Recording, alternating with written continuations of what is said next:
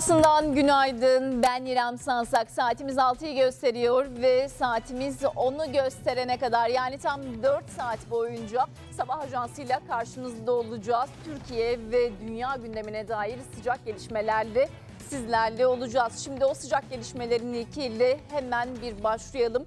Başkan Erdoğan dün İstanbul'daydı. Günü İstanbul'da geçirdi ve e, evinden çıktıktan sonra Üsküdar'da bulunan Hazreti Ali Camii'ne gitti. Orada cuma namazını kıldıktan sonra çıkışta gazetecilerin sorularını yanıtladı. Gündeme dair e, pek çok önemli açıklaması vardı. En önemlilerinden biri de Ayasofya Camii'ne ilişkin ve e, koronavirüs sürecinde bayramda bir kısıtlama olacak mı olmayacak mı sorusuydu. Bakalım neler söyledi bir dinleyelim.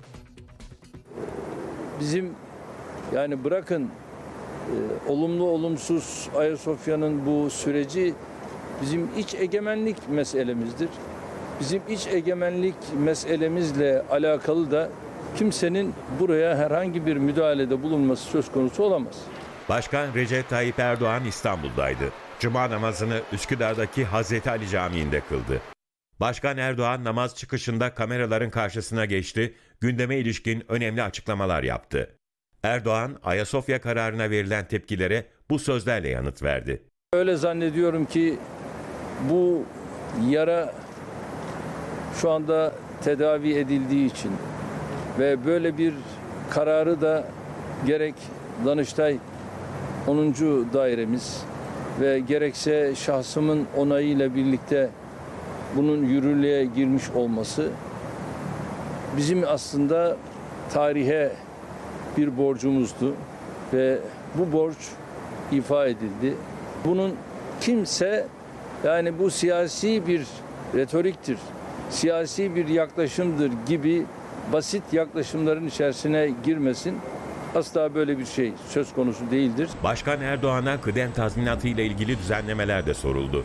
Geçtiğimiz haftalarda kıdem tazminatı konusunda işveren ve işçi sendikalarının mutabakata varması gerektiğini söyleyen Erdoğan, bir kez daha adil düzenleme vurgusu yaptı. Bu yeni döneme aktarılan bir şey. Kendileriyle yine görüşmelerimiz falan gerek bakanlık gerek şahsım olarak devam edecek. Ve bu kıdem tazminatı hususunda da adil bir konuma bu işi yani getirmeden bu şekliyle bu adımı atmak adil değil, doğru değil. Ve merak edilen bayramda kısıtlama olacak mı sorusu. Erdoğan gündemimizde yok dedi.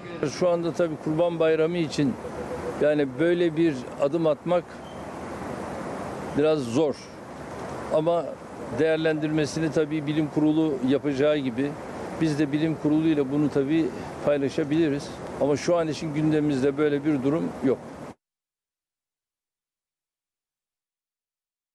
Başkan Erdoğan'ın açıklamaları böyleydi. Şimdi e, koronavirüste devam ediyoruz. Sağlık Bakanı Fahrettin Koca Türkiye'nin günlük koronavirüs tablosunu açıkladı. Son 24 saatte koronavirüsten tam 18 kişi yaşamını yitirdi. 926 da yeni vaka tespit edildi.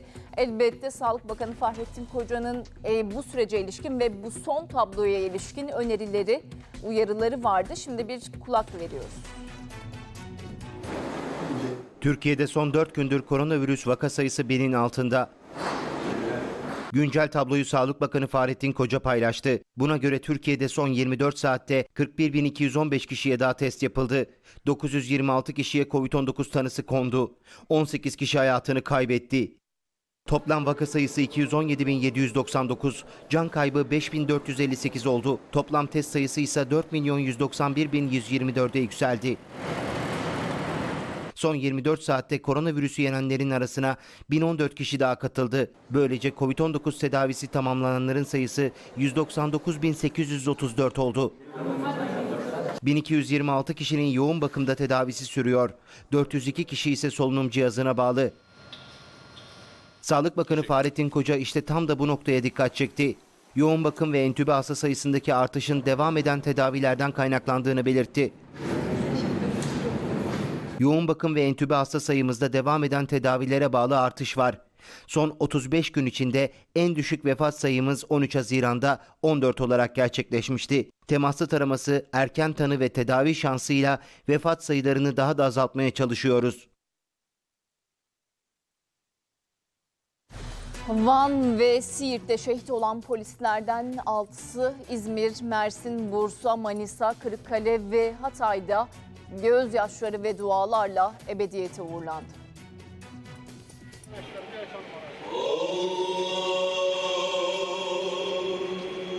Kahraman şehitler gözyaşlarıyla defnedildi. Van'da keşif uçağının düşmesi sonucu şehit olan komiser yardımcısı Semih Güzelay, 27 yaşındaydı, 3,5 ay önce evlenmişti. Şehit polis için memleketi İzmir Gazemir'de 15 Temmuz Camii'nde tören yapıldı. Milli sporcu olan şehit polis 2007 yılında Yıldızlar kategorisinde Avrupa şampiyonu olmuştu. Şehit İHA pilotu komiser yardımcısı Semih Güzelay aynı zamanda başarılı bir tekvandocuydu. 2007 yılında Yıldızlar kategorisinde Avrupa şampiyonu olmuş ve Türk bayrağımızı göndere çektirmişti. Şehit Semih Güzelay kılınan cenaze namazı sonrası toprağa verildi. Aynı kazada şehit olan 28 yaşındaki polis memuru Burak Derya için de Mersin Anamur'da tören vardı. Hatay Polis Eğitim Merkezi Müdürlüğü'nden mezun olduktan sonra Törene şehidin silah arkadaşları ve yüzlerce hemşerisi katıldı. Şehit polis dualarla son yolculuğuna uğurlandı. Bursa'da şehidini uğurladı. Şehit İrfan Aydoğan'ın naaşı Bursa'da gözyaşları ve dualarla son yolculuğuna uğurlanıyor. 29 yaşındaki şehidin bir ay önce görevli olduğu Erzurum'da ailesiyle görüştüğü öğrenildi.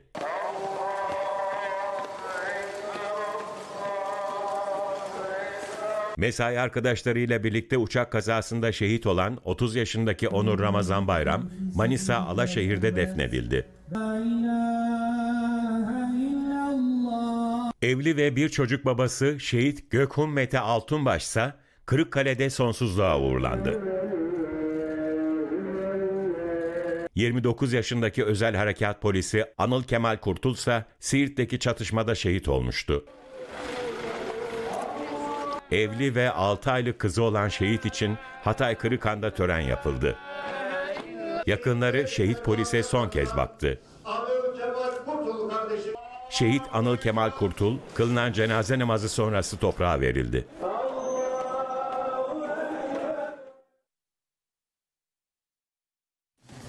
Güvenlik güçleri Siirt İl Jandarma Komutanlığı'nın yaptığı operasyonda 4 teröristi yakaladığı etkisiz hale getirdi. Güvenlik güçleri PKK'nın şehir yapılanmasına darbe üstüne darbe vuruyor diyebiliriz. Şimdi son notlar terörle mücadelede sizlerle A Haber ekranlarında.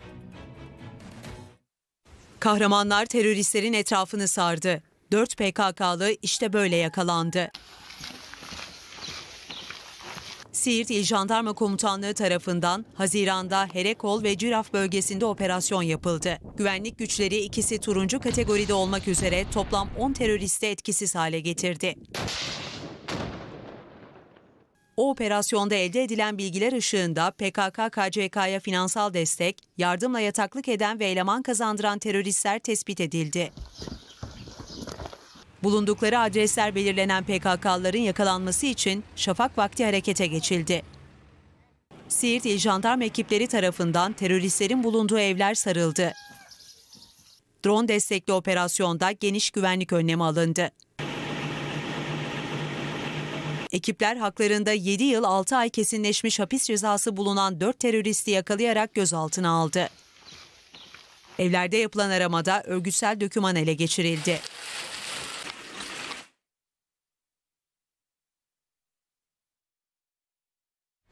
Ve Diyarbakır'la devam ediyoruz. Şimdi Diyarbakır'a bir uzanacağız. Diyarbakır'da evlat nöbeti tutan ailelerin sayısı her geçen gün artmakta. Peki e, dağdaki örgüt üyeleri ailesinin sesini e, duyup nasıl dönüyor acaba? Her birinin kuşkusuz ayrı bir hikayesi var. Kavuşma anlarını da ailelerle birlikte getiriyoruz ekranlarınıza.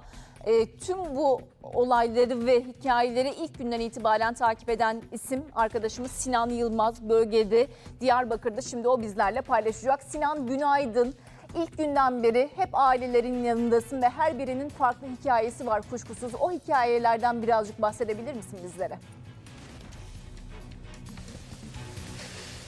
İrem günaydın. Dile kolay. 320 günlük bir mücadele ve direnişten bahsediyoruz. Aileler HDP il binası önünde evlatlarını istiyor. Peki neden HDP il binası? Çünkü aileler evlatlarının HDP aracılığıyla daha götürüldüğünü belirtiyorlar. Hatırlarsan e, Ağustos ayında Hacire Karanne HDP il binası önüne gelmişti. 3 günlük bir mücadelesi vardı. Evine hiç gitmedi. Orada oturmuştu ve evladını Mehmet'i PKK'nın elinden kurtardı. Hacire anneden sonra 3 Eylül tarihinde Fevziye Çetinkay bu sefer oturmuştu HDP binası önünde ve daha sonra da perderpey tüm anneler babalar HDP il binası önünde bir araya geldi. Evlatlarını PKK'nın elinden kurtarmak. 145 aile HDP il binası önünde gelerek evladını PKK'dan HDP'den istedi. Tabi onların bu mücadelesi de sonuç veriyor. Direnişi sonuç veriyor.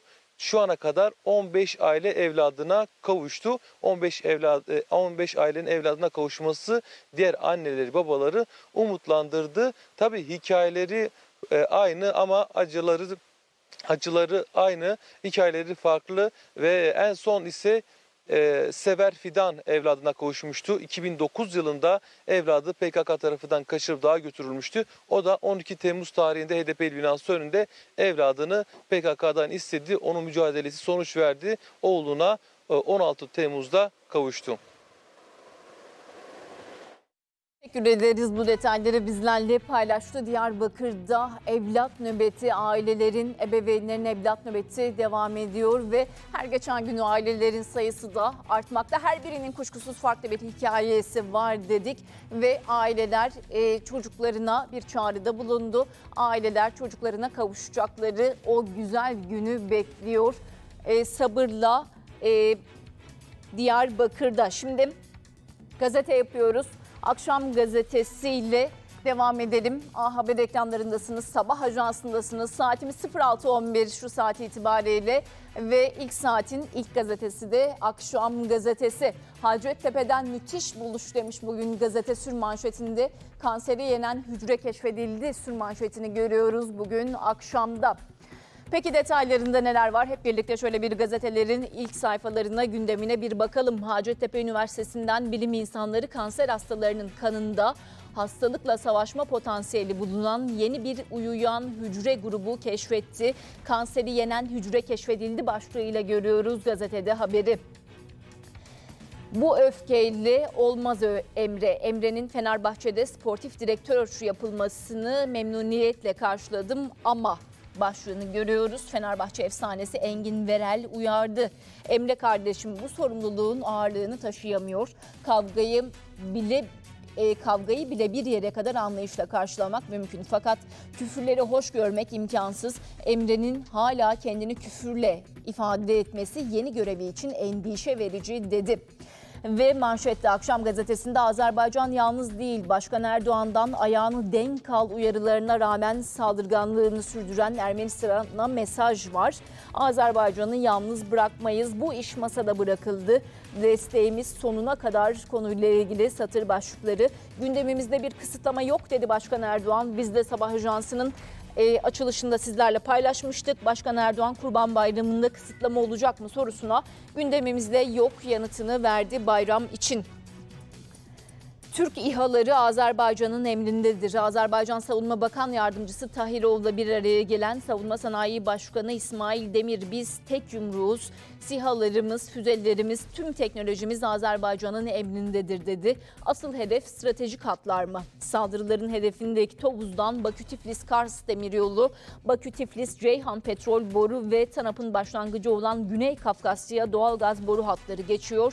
Analistlerse yer ve zamanlama tesadüf değil demekte. Ve YPG, YPG'nin elinden MIT kurtardı. Film gibi bir operasyon gerçekleşti. Moldovalı Natalya Barkal ve dört çocuğu MIT operasyonuyla özgürlüğüne kavuşturuldu. Moldova'nın yardım talebiyle harekete geçen MIT, YPG'nin Suriye'nin kuzeyindeki Hol kampına kaçırdığı anne ve çocuklarını kurtarmayı başardı. Ülkesinde Cumhurbaşkanı Igor Dodon tarafından çiçeklerle karşılanan Barkal, Türkiye çok büyük bir ülke, onlara minnettarım açıklamasında bulundu. Tarihi cami 24 Temmuz'a hazırlanıyor. Önümüzdeki hafta Cuma günü açılacak ibadete Ayasofya 1500 kişiye Meydan herkese açık başlığıyla gazete haberi paylaşmış. Diyanet İşleri Başkanı Profesör Doktor Ali Erbaş kıldıracak namazı. Ayasofya Meydanı'nda güvenlik güçleri tarafından arama noktaları kurulacak. Cami dışında 20 bin güvenlik gücü de görev alacak. Girişteki hızlı bilet turnikesi ise kaldırıldı. Hazırlıklar tüm hızıyla sürüyor. Ayasofya Camii'nde 24 Temmuz itibariyle ibadete açılacağını söyleyebiliriz. İki CHP'li PKK'dan tutuklandı. Gaziantep'teki PKK operasyonunda gözaltına alınan CHP'li iki belediye meclis üyesi terör örgütüne üyelikten tutuklandı. Servislere devlet güvencesi geliyor. Ticaret Bakanlığı'nın kurduğu servis bilgi sistemiyle tüm yetkili servislere e, belli bir adresten bundan sonra ulaşılabilecek www.servis.gov.tr adresinden ulaşılacak. TTK Başkanı'na tepki ne FETÖ'yü ne 15 Temmuz'u doğru anlamış. Türk Tarih Kurumu Başkanı 15 Temmuz panelinde darbe teşebbüsüne karışmış, pişman olmuş, nedamet duyan kişilere sahip çıkmamız gerekiyor dedi. Başlıklarını görüyoruz. Huysuz Virjin hayata veda etti. Huysuz Virjin olarak tanınan sanatçı Seyfi Dursunoğlu 87 yaşındaydı, yaşamını yitirdi. Koa hastasıydı ve 15 gün önce zatürre teşhisiyle hastanede tedavi altına alınmıştı. 3 gündür de yoğun bakımdaydı. Memuriyetten başlayan hayatı e, sahnelere ve televizyona uzanmış ve Türkiye'deki stand-up'ı şu anda bilinen adıyla stand-up'ı Türkiye'de yapan ilk isimdi Seyfi Dursunoğlu. Türkiye'nin otomobilinde tarihi gün Türkiye'nin otomobilini üretecek fabrikanın temeli bugün Başkan Erdoğan'ın katılacağı törenle Bursa Gemlilik'te atılacak. Temele ben de varım diyen 300 bin kişinin adı gömülecek diyelim ve son başlığımızı sizlerle paylaşalım. Şimdi yan yana yatıyorlar. Van şehidi Komiser Yardımcısı Samet Üstüner'in 4 yıl önce Şırnak'ta şehit olan özel harekatçı Mahmut Bilgen'le çocukluk arkadaşı olduğu ortaya çıktı. Üstüner Ankara'da arkadaşının yanına defnedildi.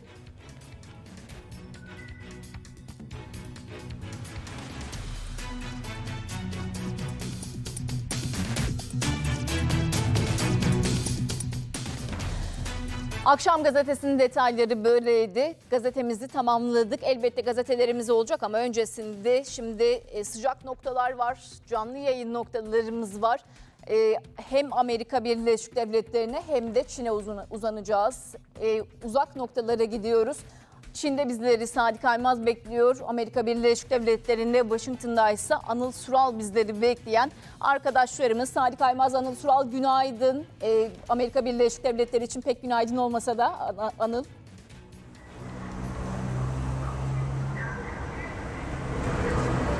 Çin'de başlayalım.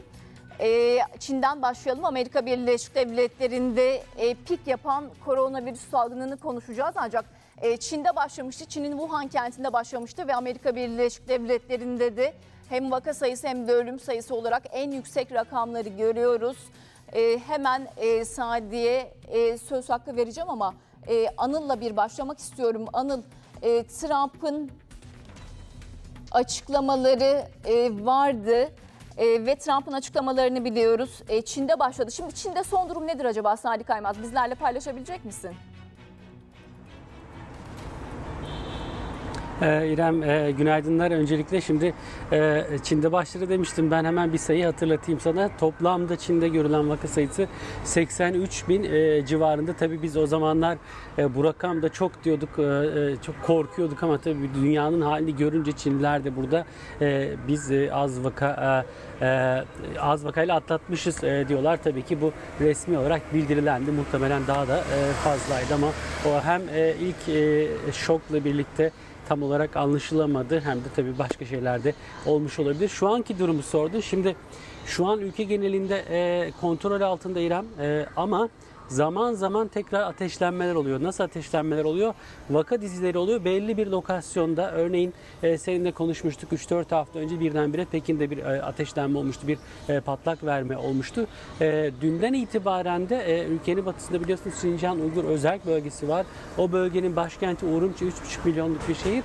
Orada bugün 16 vaka ortaya çıktı. Dolayısıyla e, böyle e, yer değiştirerek e, devam ediyor e, vakalar.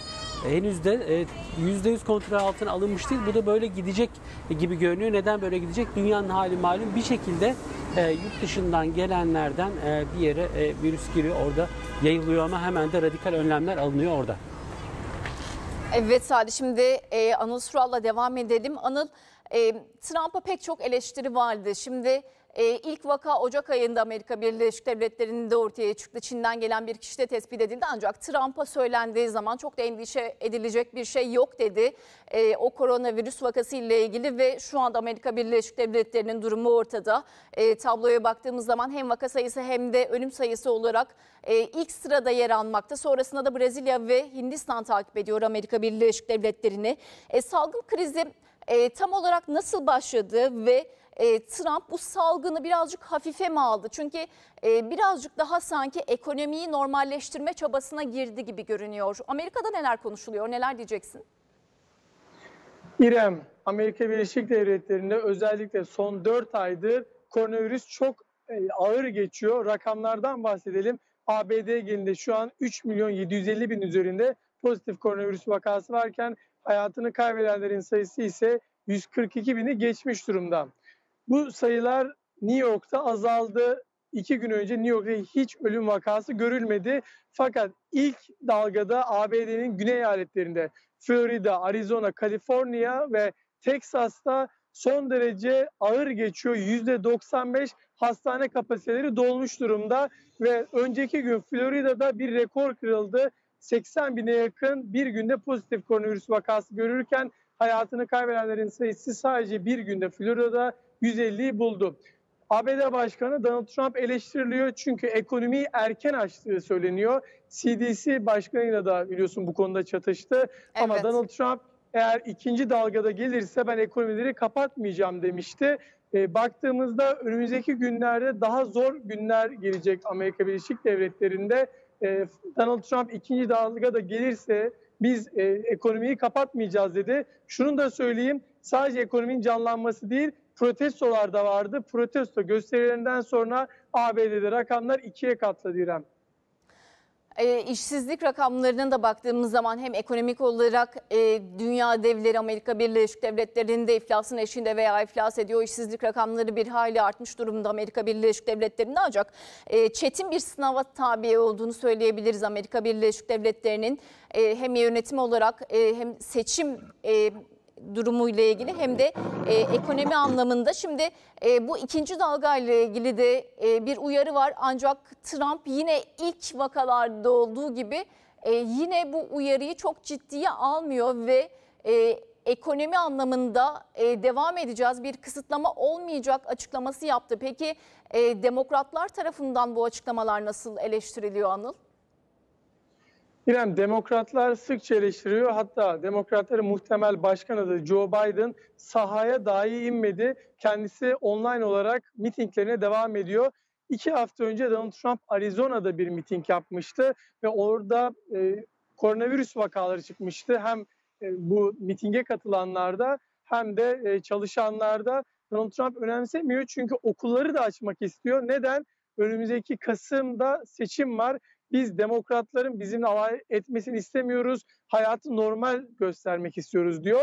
Beyaz Saray'da bir dosyaya ulaştı Amerikan medyası. Beyaz Saray 18 eyaleti kırmızı olarak uyardı ama basın toplantılarına baktığımızda görüntü olarak yansıtmıyorlar. Sen çok doğru dedin. Amerika'da işsizlik rakamları 45 milyona gelmiş durumda ve çok büyük Amerikalı dev dediğimiz markalarda 2000 marka son 4 ayda koronavirüsten dolayı batmış durumda. Ama Donald Trump ekonomiyi iyi göstermeye çalışıyor. Çünkü dediğim gibi önümüzdeki aylarda seçimler var. Demokratlar kendisini sıkça eleştiriyor. E, anketlere baktığımızda Donald Trump geride, Joe Biden önde. Ama bunu e, sandığa katılım oranları belirleyecek. Çünkü genelde %50-%55 arasında eğer Afrika kökenli Amerikalılar, siyahiler sandığa giderse bir şeyler değişebilir. Ama genel anlamda Donald Trump'ı koronavirüsten dolayı zor bir sınav bekliyor. Çünkü uzmanlar ABD birkaç sene maske takabilir uyarısı yapıyor.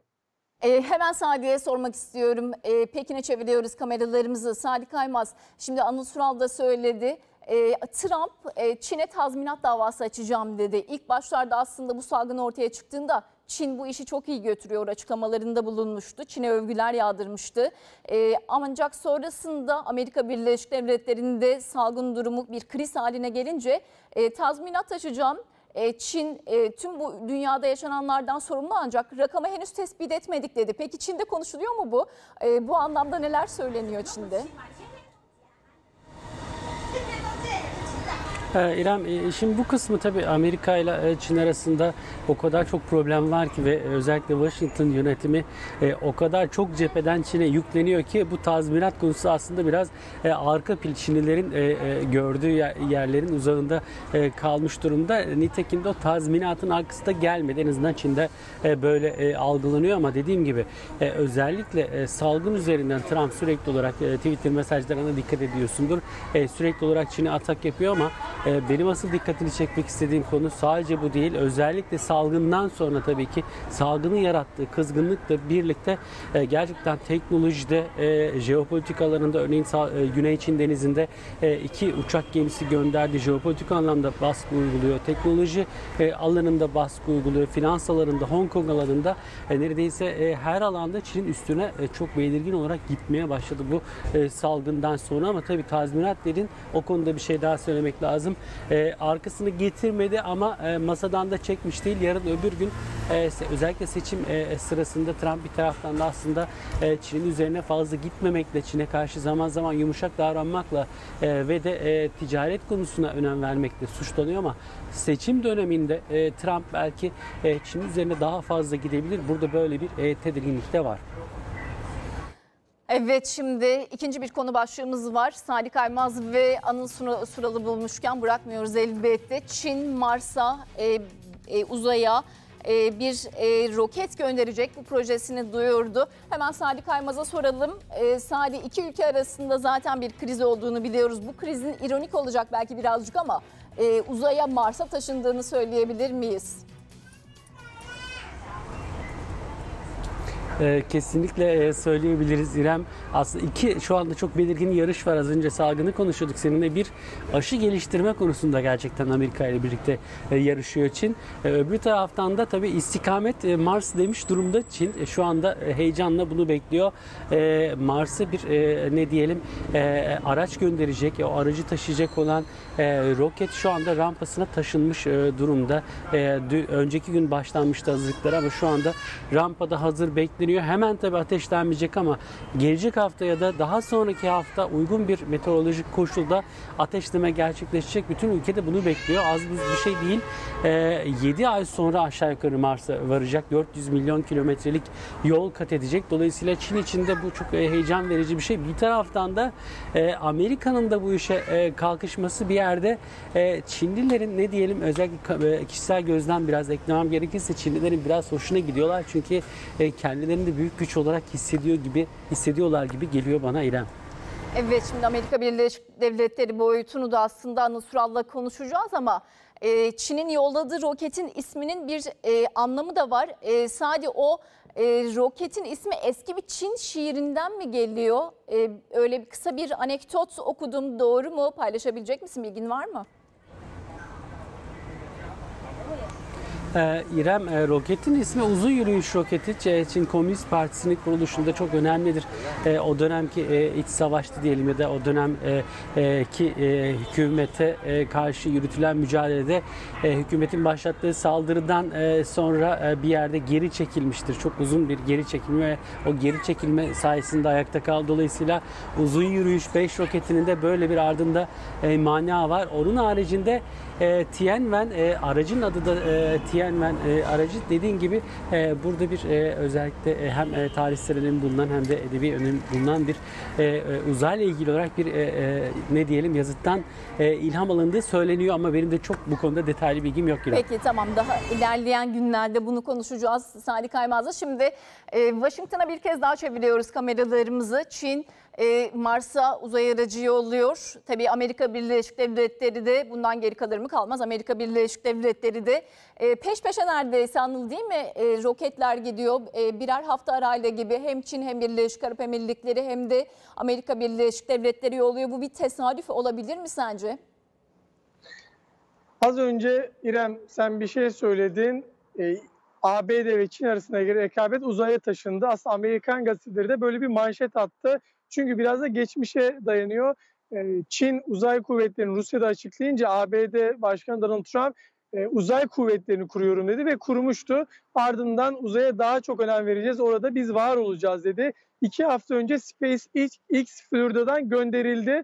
Fakat Çin'in e, bu roket gönderilmesi üzerine ABD biraz daha hızlandırdı. Bir hafta sonra tekrar Florida'dan roket gönderecek. Aslında SpaceX'ten sonra e, biraz koronavirüs arası vermişti, göndermeyeceklerdi. Fakat Çin'in bu hamlesinden sonra az önce Salih de söyledi. Çinler nasıl hoşuna gidiyor? Amerikalıların da hoşuna gidiyor. Özellikle Trump destekçileri e, Çin yolluyorsa biz daha önce yollamalıyız, biz de uzayda var olmalıyız diyor. O yüzden seçimlerde yaklaşmışken e, daha çok fazla roketi uzaya gönderebileceğini söyleyebiliriz Amerika'nın.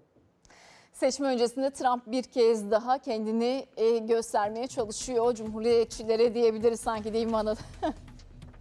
Kesinlikle çok doğru diyorsun İrem. Çok teşekkür ediyoruz. Salih Kaymaz ve Anıl Sural bizlerle birlikteydi. Amerika Birleşik Devletleri ve Çin arasında o devam eden rekabeti biliyoruz. Uzun zamandır devam ediyor Amerika Birleşik Devletleri'nin Çin'e e, bazı yaptırımları var. Çin'in buna verdiği sert yanıtlar var ve Amerika Birleşik Devletleri Başkanı Trump'ın elbette herkes tarafından o bilinen manidar tweetleri var. Konuşacağız bu konuyu. Ee, uzun bir konu daha.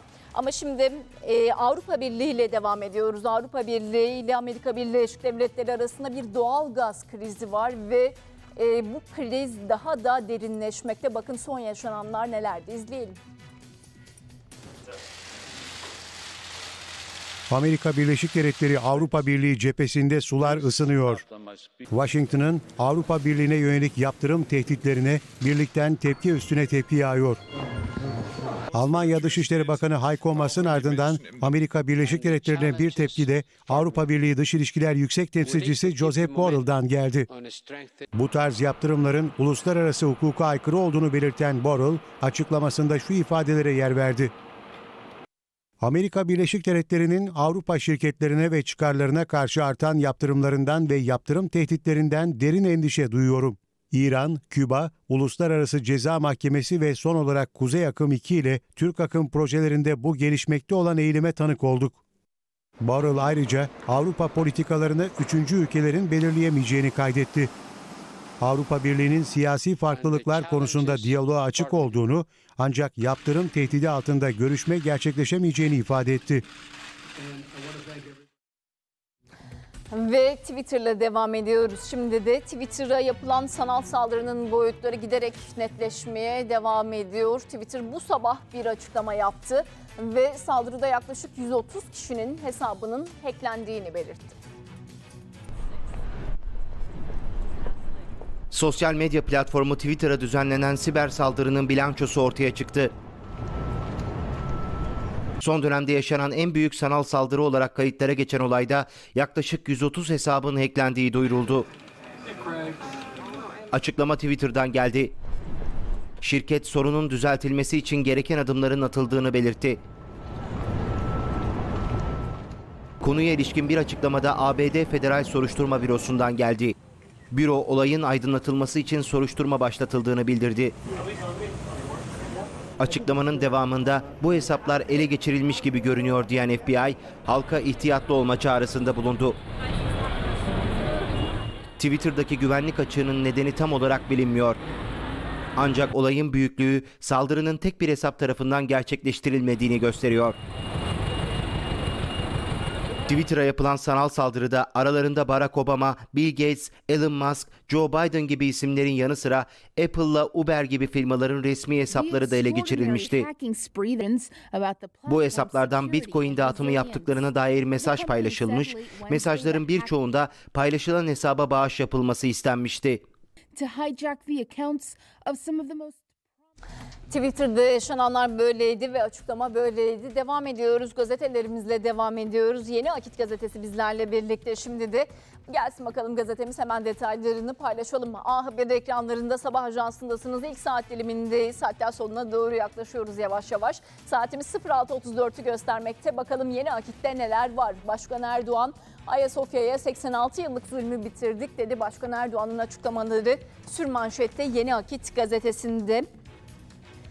Başkan Erdoğan Ayasofya'nın 86 yıl sonra aslında rücu etmesinin Türk insanı kadar İslam dünyasını da mutlu ettiğini söyledi.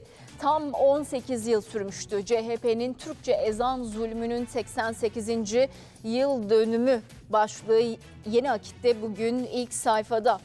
Mecliste ve ekranda güya kadını kollayanların evde eşlerine attığı dayak ortaya çıktı.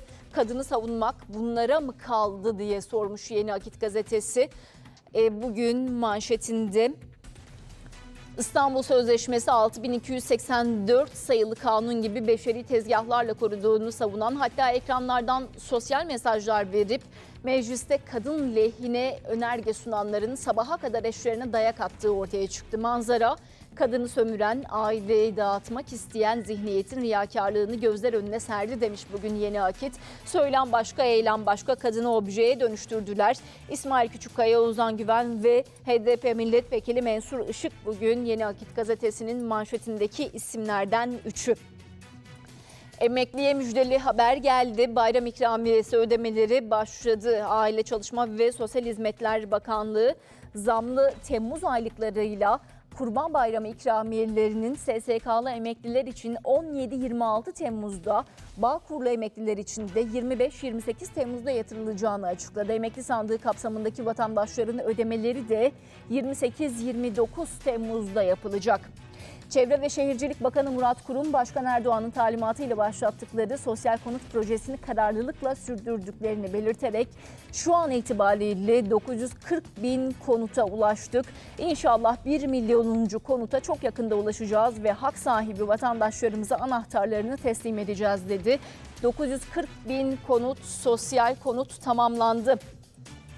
Ermeni'nin hedefi Türk-Azeri ortak projeleri Ermenistan'ın 12 Temmuz'da saldırdığı Tovuz ilinden Bakü-Tiflis-Kars demiryolu, Bakü-Tiflis-Ceyhan petrol boru hattı ve TANAP'ın başlangıcı olan Güney Kafkasya doğal gaz boru hatlarının geçtiğini ifade eden uzmanlar Ermenistan, Türk-Azeri ortak enerji ve ulaşım projelerini hedef alıyor açıklamasında bulundu. Ve son başlıklarıyla devam ediyoruz Yeni Akit'in. İmamoğlu 114 projeyi iptal etti. Akdağ hasta garantisi iddiası yalan dedi. Moldovalı aileyi YPG'den MIT kurtardı. Nefes kesen bir operasyonla kurtardı. O operasyonun görüntülerini sizlerle paylaşmıştık. Arakanlı yetimlerden Türkiye'ye dua var ve koronavirüs koronavirüsün günlük bilançosunda 926 yeni vaka var. 18'de vefat var. Yeni Akit gazetesinin detayları böyleydi. Şimdi Haberlerimizle devam ediyoruz. Kurban Bayramı'na artık çok az bir süre kaldı. Sahte para alarmı verildi. Kurban e, Bayramı'na çok az bir süre kala güvenlik güçleri de kurban pazarlarını bir bir gezdi ve e, kurbanlıklarını getiren satıcılara bazı uyarılarda bulundu. Onları uyardı bazı konularda. Peki o uyarılar neydi o konular? İzleyelim. Sahte paraya dikkat edin. Kurban pazarlarına gittiler, sahte para konusunda herkesi uyardılar. Koronavirüsü tedbirleri kapsamında bu bayram öncesinde kurban satışları sırasında tokalaşarak pazarlık yapılamayacak. Onun yerine görüyorsunuz işte karşılıklı olarak insanlar konuşarak anlaşmaya çalışacaklar. Ayakta da alırsan sana 12,5 milyar olur. O zaman biz ayakta alalım.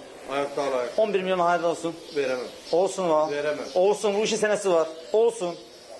11,5 al şerefin var. 11 milyar olsun va. Şerefin var. bizi. Al Tamam. hayırlı olsun. Hayırlı olsun abi. Sahte parayla dolandırıcılık yapanlar kurban pazarlarını hedef aldı. Müşteri kılığında pazarlara giden dolandırıcılar vatandaşları mağdur ediyor. Güvenlik güçleri kurban pazarlarına giderek kurban satıcılarını ve kurbanlık almak isteyenleri uyardı. Yaklaşan Kurban Bayramı öncesinde kurban pazarlarında hareketlilik yaşanmaya başladı. Bu nedenle de Adana polisi satıcıları özellikle sahte paralara karşı uyarmaya başladı. Paralarımızda zaten genel özellikler var. Güvenlik tedbirleri var paralarımızda. Kabartma baskı var. İşte gizli görüntü var Atatürk'ümüzün resmi. Holografik şerit folyo var. Renk değiştiren şerit var kaldırdığınızda. Emniyet şeridi var yine. Polisler konuyla ilgili broşür de dağıttı. Bir paranın sahte olup olmadığını farklı yöntemlerle tespit etmek mümkün ama bir paranın en ekonomik şekilde sahte olup olmadığını kontrol etmek işte bu kalemlerle sağlanabiliyor. Herhangi bir çizgi yok. çizmiyor. Ama normal kağıtların hepsini çizer. Antalya'ya uzanıyoruz. Şimdi de Antalya'da 11 Haziran'da iki otomobilin kavşakta çarpıştığı bir kaza olmuştu. O kazada 27 yaşındaki Ceylan Tutlu hayatını kaybetmişti ve alkollü olduğu belirlenen sürücü adli kontrol şartıyla serbest kaldı. Sosyal medyadan da arabasıyla müzikli paylaşımlar yapmaya devam etti. Evlat acısı çeken annesi ise mahkeme kararına tepki gösterdi. Alkollü araç kullanarak hayatının bağrında olan kadının ölümüne neden oldu. Adli kontrol şartıyla serbest bırakıldı. Yani kendisi şehir şehir bu şekilde bir müzikle bir cana kıymış. Ortada bir ölümlü olay var ve bu şekilde müzikle de yolculuk yapıyor. Kaza 11 Haziran'da Antalya'nın Alanya ilçesinde gece saat 3 sularında meydana geldi. Aşırı süratli bir otomobil kırmızı ışık ihlali yaparak kavşaktan geçmeye çalışan otomobile çarptı. 116.7 promil alkollü çıkan sürücünün çarptığı araçta Ceylan Tutlu hayatını kaybetti. Alkollü sürücü suç ceza hakimliğince adli kontrol şartıyla serbest kaldı. Ailesi verilen karara isyan etti. Hala mahkemesi başlatılmadı kardeşimin. E, Biz bir an önce bu şahsın e, içeriye alınmasını istiyoruz.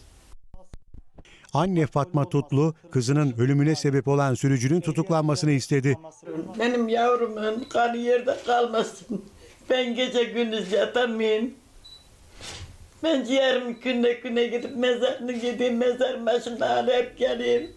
Acılı anne Ceylan Tutlu'nun içinde bulunduğu otomobildeki arkadaşlarından da şikayetçi. Bunlarda da hata var dedi. Savcı bana dedi ki senin kızının arabasında olanlarda da hata var dediydi. Bana onlar da tutulacak diyecekti. İstanbul'dan şimdi ilginç bir görüntü gelecek ekranlarınıza. E, bu görüntünün kayda geçtiği nokta İstanbul'da Eminönü Üsküdar vapur iskelesi. İki kadın kavga etmeye başladı ve kadınlardan biri turnikenin üzerinden atlayarak tartıştığı diğer kadına tekme attı. İşte o anlar sizlerle A Haber ekranlarında.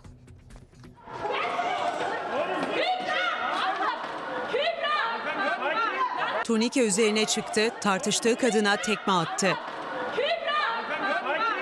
Görüntü İstanbul'da kayda geçti. Eminönü Üsküdar vapur iskelesinde akşam saatlerinde yoğunluk vardı. Kuyruk uzadıkça uzadı, sinirler gerildi.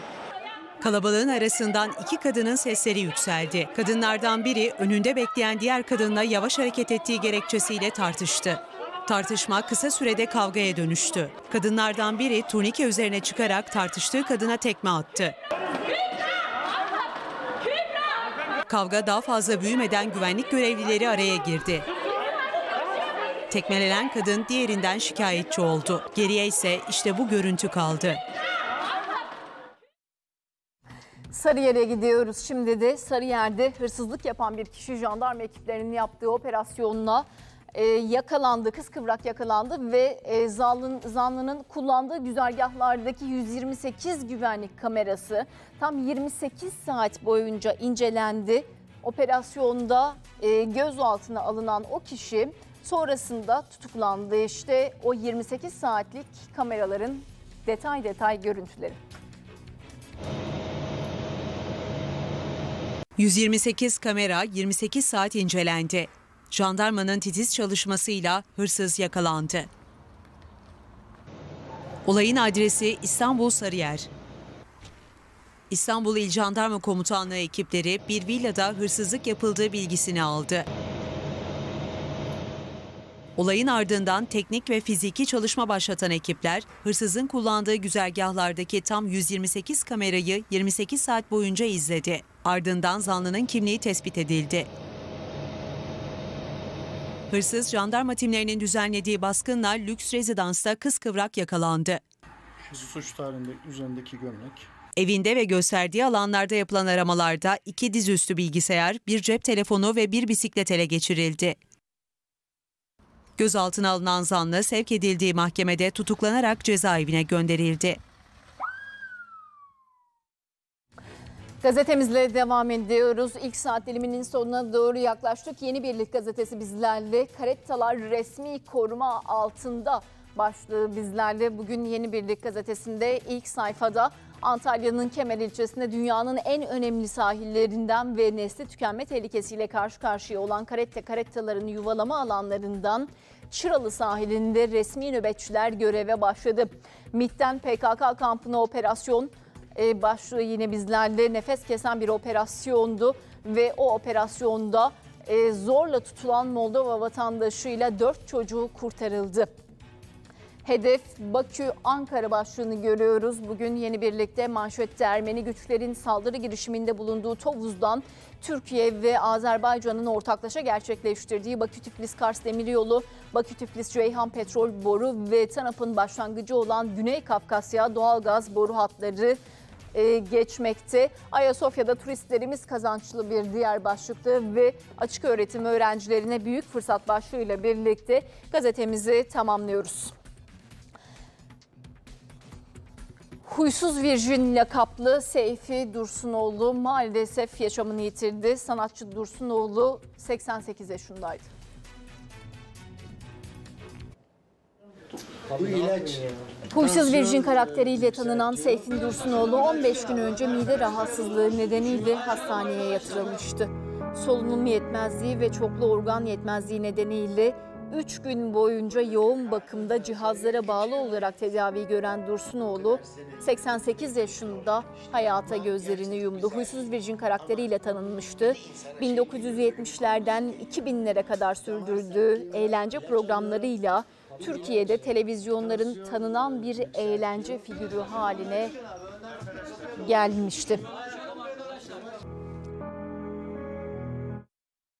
Evet stand-up deyince Türkiye'deki ilk isimlerden biriydi Seyfin e, Dursunoğlu. Şimdi e, Türkiye'nin iki tekerlekli araç ihracatı geçen senenin aynı dönemine kıyasla %21'lik bir artış gösterdi. Son detaylar sizlerle.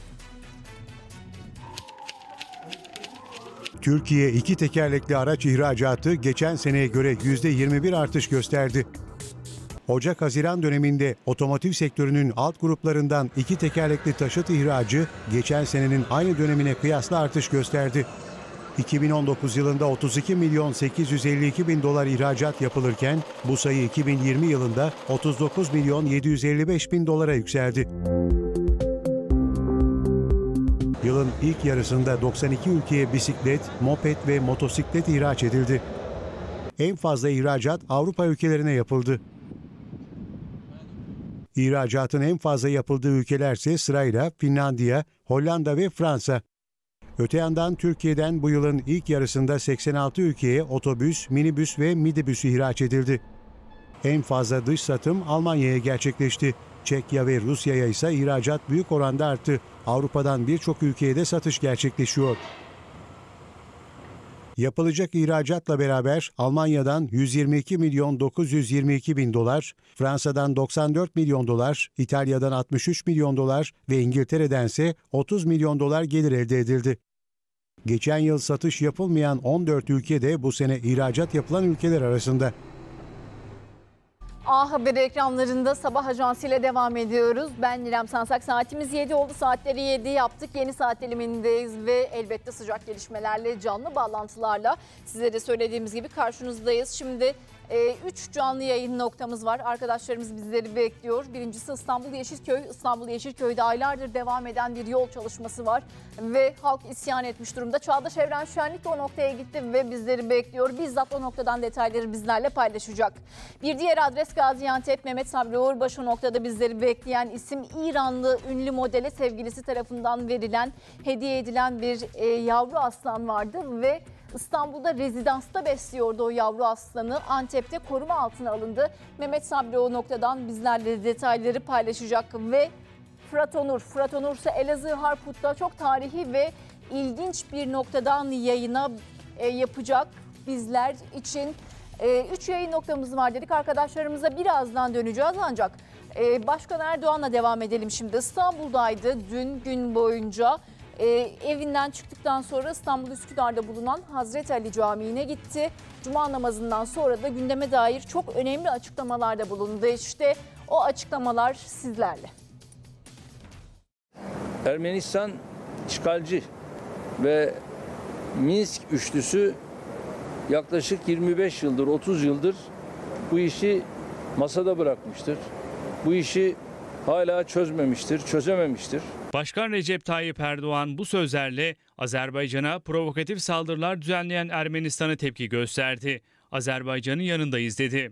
İşin bu noktalara geleceği de belliydi. İşte şu anda da Ermenistan biliyorsunuz sürekli Azerbaycan'ın sivil bölgelerini ateş altında tutuyor. Oralara saldırıları var. Başkan Erdoğan İstanbul'da cuma namazı çıkışında habercilerin sorularını yanıtladı. Ermenistan'ın Azerbaycan'a yönelik saldırısı da habercilerin gündem başlıklarından biriydi. Ama bu saldırılar neticesinde de tabii ki e, Azerbaycan'da şu anda kendilerine düşen özellikle topraklarının müdafası adeta kendi halkının müdafasına yönelik adımları atmıştır. Ve bunu atarken de tabii biz kardeş Azerbaycan'ı kesinlikle yalnız bırakmayız. Ve kardeş Azerbaycan'a da sonuna kadar desteğimizi vereceğiz. Ve kaynayan kazan Libya. Başkan Erdoğan, Türkiye'nin şu ana kadar Libya'da aldığı sorumluluk ve kararlılık mesajını bir kez daha yineledi. Biz şu ana kadar Libya'da e, hangi sorumluluğu aldıysak bundan sonra da Libya'da bu sorumluluğumuzu aynen devam ettireceğiz. Darbeci Hafter'in yanında yer alan Mısır ve Abu Dhabi yönetimine de tepki gösteren Erdoğan, Libya ile yeni bir anlaşma yapılacak dedi. Bu dönemde de askeri eğitim işbirliği anlaşmamızı da biliyorsunuz biz Libya ile yaptık. Şimdi bu tür bir aramızda anlaşmamız da var ve yeni bir anlaşmayı da Birleşmiş Milletleri de devreye sokmak suretiyle yapmak üzereyiz. Bu konuda Libya'da çalışmalarını yürütüyor. Ermenistan'ın Azerbaycan'a saldırmasının ardından başlayan bir gerginlik var ve Türkiye'den de açıklamalar gelmişti. Aklını başına alsın Ermenistan şeklinde. Ee, bu gerginlik devam ederken Azerbaycan'la Rusya arasında kritik bir görüşme, önemli bir görüşme gerçekleşti. İki ülke Dışişleri Bakanlığı'nın işte bu son yaşanan gerginlikleri ele aldığı bildirildi. Kafkaslar'da çatışma devam ediyor. Moskova yönetimi ise çatışan taraflar arasında diplomatik girişimlerde bulunuyor. Rusya Dışişleri Bakanı Sergey Lavrov, Azerbaycan Dışişleri Bakanı olarak atanan Ceyhun Bayramov'la telefonda görüştü. Azerbaycan Dışişleri Bakanlığı'ndan yapılan açıklamaya göre Lavrov Bayramov'u yeni göreve atanması dolayısıyla kutladı. Bayramov, Ermenistan-Azerbaycan sınırında Ermeni güçlerin son askeri kışkırtmaları konusunda Rus mevkidaşını bilgilendirdi. Gerginliğin başlıca nedeninin Ermenistan'ın 30 yıldan fazladır devam eden saldırgan politikası olduğunu kaydetti. Rus Bakan Sergey Lavrov ise taraflara ateşkese uyma ve bölgede gerginliğin azaltılması yönünde çağrıda bulunduklarını ifade etti. Dışişleri Bakanı Mevlüt Çavuşoğlu da yeni görevi dolayısıyla Azerbaycan Dışişleri Bakanı Ceyhun Bayramov'u ilk arayan isimlerden olmuştu. Çavuşoğlu ve Bayramov yaptıkları telefon görüşmesinde Ermenistan'ın saldırıları karşısında Türkiye ve Azerbaycan'ın işbirliğine vurgu yapmıştı. Milli Savunma Bakanı Hulusi Akar'la devam ediyoruz. Fransız gemisine taciz iddiaları ile ilgili konuştu Bakan Akar ve Fransız müttefiklerimizden hala bir özür bekliyoruz. Kapatmalarına izin vermeyecek bu konuyu sonuna kadar sürdüreceğiz, devam ettireceğiz açıklamalarında bulundu. Yani bizim tek dileğimiz, tek emelimiz Libya'nın barış huzur içinde, güven içinde yaşaması, kendi hayatını huzur içinde sürdürmesidir. Ve dedik ki durum bu, bundan sonra hiçbir gerçekle alakası yok. Gerçekler budur. Dolayısıyla e, bize dedik bir özür borçlusunuz. Efendim olur mu olmaz mı vesaire şimdi NATO'daki bütün çalışmaları tıkamaya çalışıyorlar. Efendim bunu kapatalım. Hayır kapatma yok. Sonuna kadar götüreceğiz. Efendim işte her zaman her aklına gelen Türkiye'yi böyle bir hedef tahtası gibi ona herkes böyle nar atacak, efelik yapacak bir ülke olmadığımızı görsünler dedik. Ayasofya Türkiye Cumhuriyeti Devleti'nin malı. Türk Silahlı Kuvvetleri'nin, e, Türkiye efendim Türk milletinin malı. Ve dolayısıyla burada söz söyleyecek olan tek yer Türkiye Cumhuriyeti Devleti, Türk milletidir. Dolayısıyla bunun dışında hiçbir kişinin, hiçbir efendim kurumun, devletin söz söyleme hakkı yoktur. Herkes Ve Van'la devam ediyoruz. Van'da keşif uçağının düşmesi sonucu şehit olan pilot komiser yardımcısı Samet Üstüner ve polis memuru Mustafa Keskin Ankara'da son yolculuğuna uğurlandı. Vatan toprağına emanet edildiler. Cenaze namazına Cumhurbaşkanı Yardımcısı Fuat Oktay, çok sayıda bakan ve mesai arkadaşı da katıldı. Şimdi o gözyaşları ve duaların olduğu cenaze töreninden görüntüler sizlerle.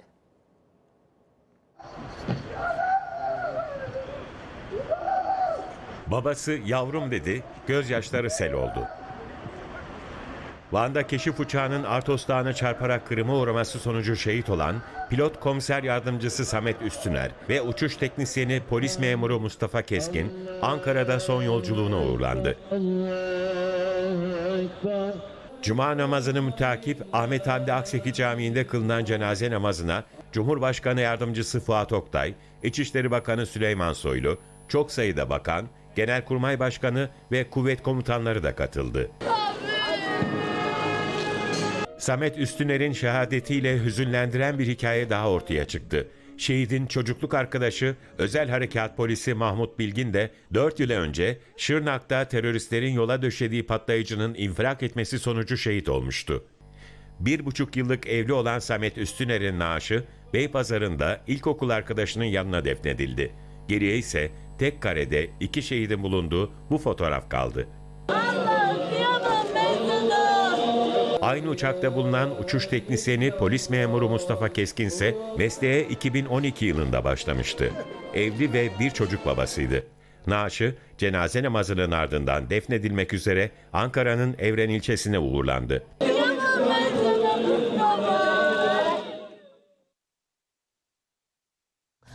Gazetelerle devam ediyoruz. Sırada Hürriyet gazetesi var. Gelin hep birlikte Hürriyet gazetesinin başlıklarına şöyle bir göz atalım. Başlıklarda neler var acaba? Hürriyet gazetesi bugün LGS'yi ilk başlığına taşımış. LGS 20 soruda bilmeniz gerekenler demiş. Liselere giriş sınavı sonuçları açıklandı. Şimdi tüm öğrenciler yerleştirme sonuçlarını e, bekliyor. 10 Ağustos'ta açıklanacak. Bu yıl özel okula kesin kayıt yaptıran tercih yapamayacak. İşte tercihlerle ilgili en çok merak edilenler başlıklarını görüyoruz. Ve huysuz virjin öksüz kaldı. Kanto geleneğini sürdürerek kadın kılığına girip hayat verdiği huysuz virjin karakteriyle milyonların sevgilisi olan Seyfi Dursunoğlu maalesef yaşama veda etti. 88 yıllık ömrünün 18 yılı memurdu. Memurlukla başladı ve sahnelere, televizyona geçiş yaptı. E, Türkiye'de stand-up'ın bugünkü bilinen adıyla stand-up'ın ilk temsilcilerinden biriydi. Huysuz Virjin. İşte koronanın risk metresi başlığını görüyoruz. Yüksek risk var, orta risk ve orta düşük risk demiş bugün Osman Müftüoğlu. Spor salonu, e, statlar, açık büfe, yemek, sinema salonları, Luna Park, büyük konserlere katılmak yüksek risk alanında yer almakta. Orta risk grubu halka açık yüzme havuzları, yaşlılara ev ziyareti, plaj, AVM, komşunun mangal partisi, bir hafta ofiste çalışmaksa... E, orta risk grubunda yer alıyor. Peki orta düşük riskte neler var? Market alışverişi, çocuk parkında bir saat, kalabalık şehir merkezinde yürümek, açık hava restoranda yemek yemek, otelde iki gece ise orta düşük risk grubuna giriyor.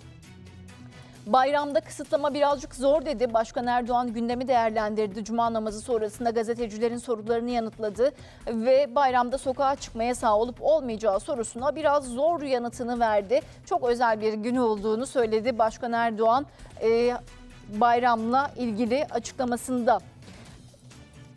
Bir diğer başlık bugün Hürriyet gazetesinde uçan tekme Eminönü iskelesinde kuyrukta bekleyen iki kadın arasında kavga çıktı ve kadınlardan biri tartıştığı diğer kadına e, tekme attı turnikenin üstünden. Bakanlıklar ayrılacak mı? Cumhurbaşkanı Yardımcısı Fuat Oktay'a bakanlıkların ayrılmasının düşünülüp düşünülmediğini sordum demiş bugün Abdülkadir Selvi. E, şu anda bizim gündemimizde ayrılma gibi bir şey yok yanıtını almış. Hürriyet gazetesinin detayları böyleydi. Gazetenin detaylarını sizlerle paylaştık. İlk sayfasındaki başlıklardı. Şimdi Hürriyet gazetesini tamamladık. Koronavirüs bilançoyla devam ediyoruz. Sağlık Bakanı Fahrettin Koca e, tabloyu açıkladı. Bir tablo var biliyorsunuz. Her gün paylaşılan tablo bu. 17 Temmuz 2020 itibariyle vefat sayımız 18, iyileşen hasta sayımız 1014 ve vaka sayımız ise binin altında aslında güzel bir haber 926. Peki Sağlık Bakanı ve Bilim Kurulu üyeleri uzmanlar acaba neler söylüyor? Uyarıları ve önerileri neler? Hep birlikte izliyoruz.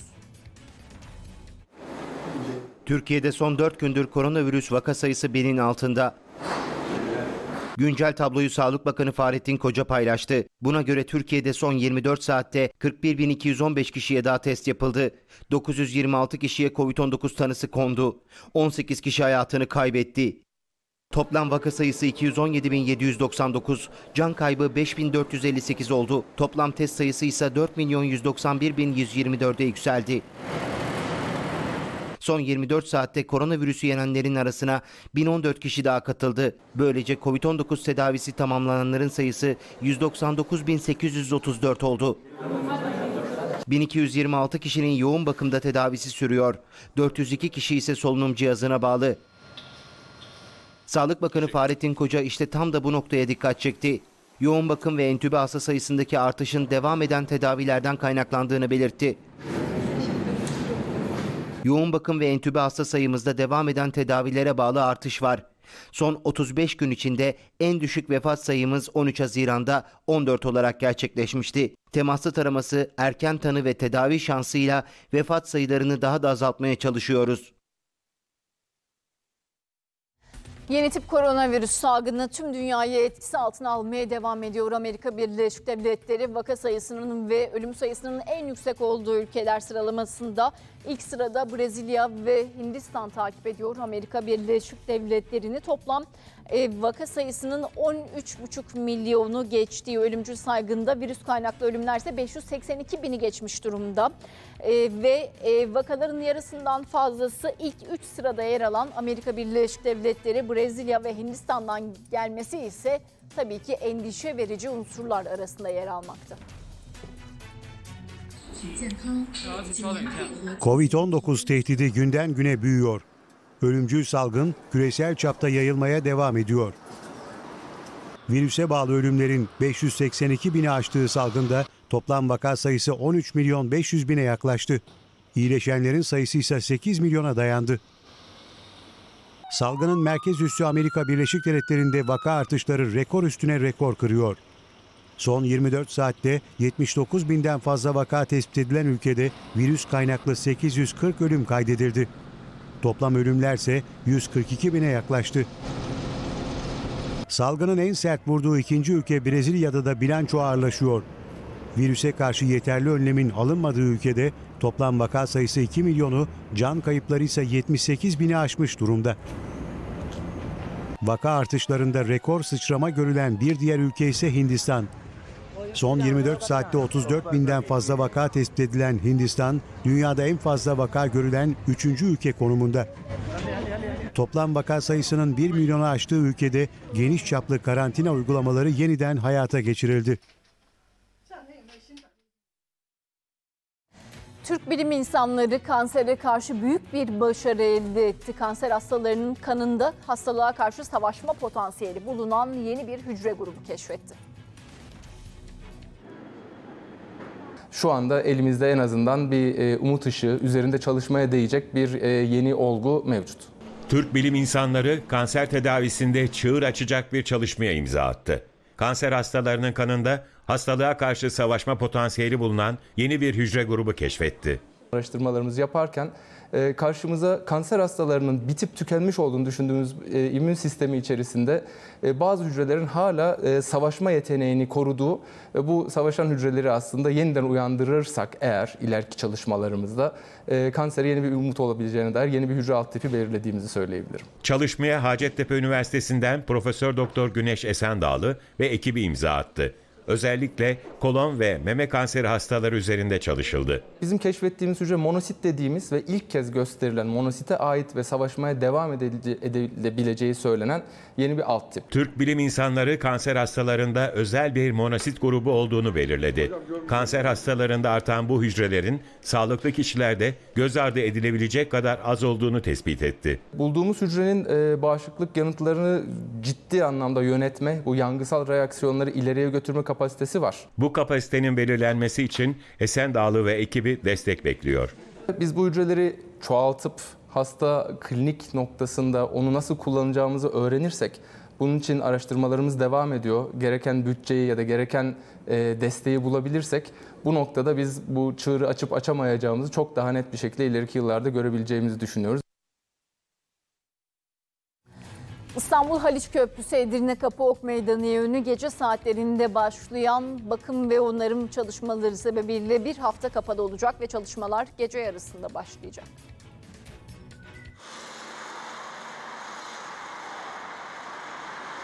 Dört aşamalı gerçekleştirilecek olan Haliç Köprüsü'ndeki çalışmanın ilk etabı başladı. Birinci aşamada köprünün Ok Meydanı Edirne Kapı istikametinde iki şeritli yolun sağ şeridi 7 gün boyunca kapatılacak. İkinci aşamada aynı yolun sol şeridi 7 gün boyunca trafiğe kapalı olacak. Üçüncü aşamada Edirne Kapı Ok Meydanı istikametinde 3 şeritli yolun sağ tarafındaki 1,5 şeridi 7 gün boyunca kapatılacak. Dördüncü aşamada aynı yolun sol tarafındaki 1,5 şeridi 7 gün boyunca kapalı olacak. İstanbul trafiğinin önemli güzergahlarından biri olan Haliç Köprüsü yapılan çalışma sebebiyle Avrupa yakasındaki trafiğe doğrudan etki edecek. Yapılan tadilat nedeniyle trafik yoğunluğu yaşanacak. İstanbullu sürücülerin Haliç Köprüsü güzergahında sancılı günleri başlıyor. İstanbul Yeşilköy'de aylardır devam eden yol çalışması çevre halkını da isyan ettirmiş durumda. Hem yayalar hem de e, sürücüler zor anlar yaşıyor. Şimdi Yeşilköy'e uzanıyoruz. Açılışta da söylemiştik sizlere. Çağdaş Evren Şenlik o noktada bizleri bekliyor. Arkadaşımız detayları bizlerle paylaşacak. Çağdaş günaydın.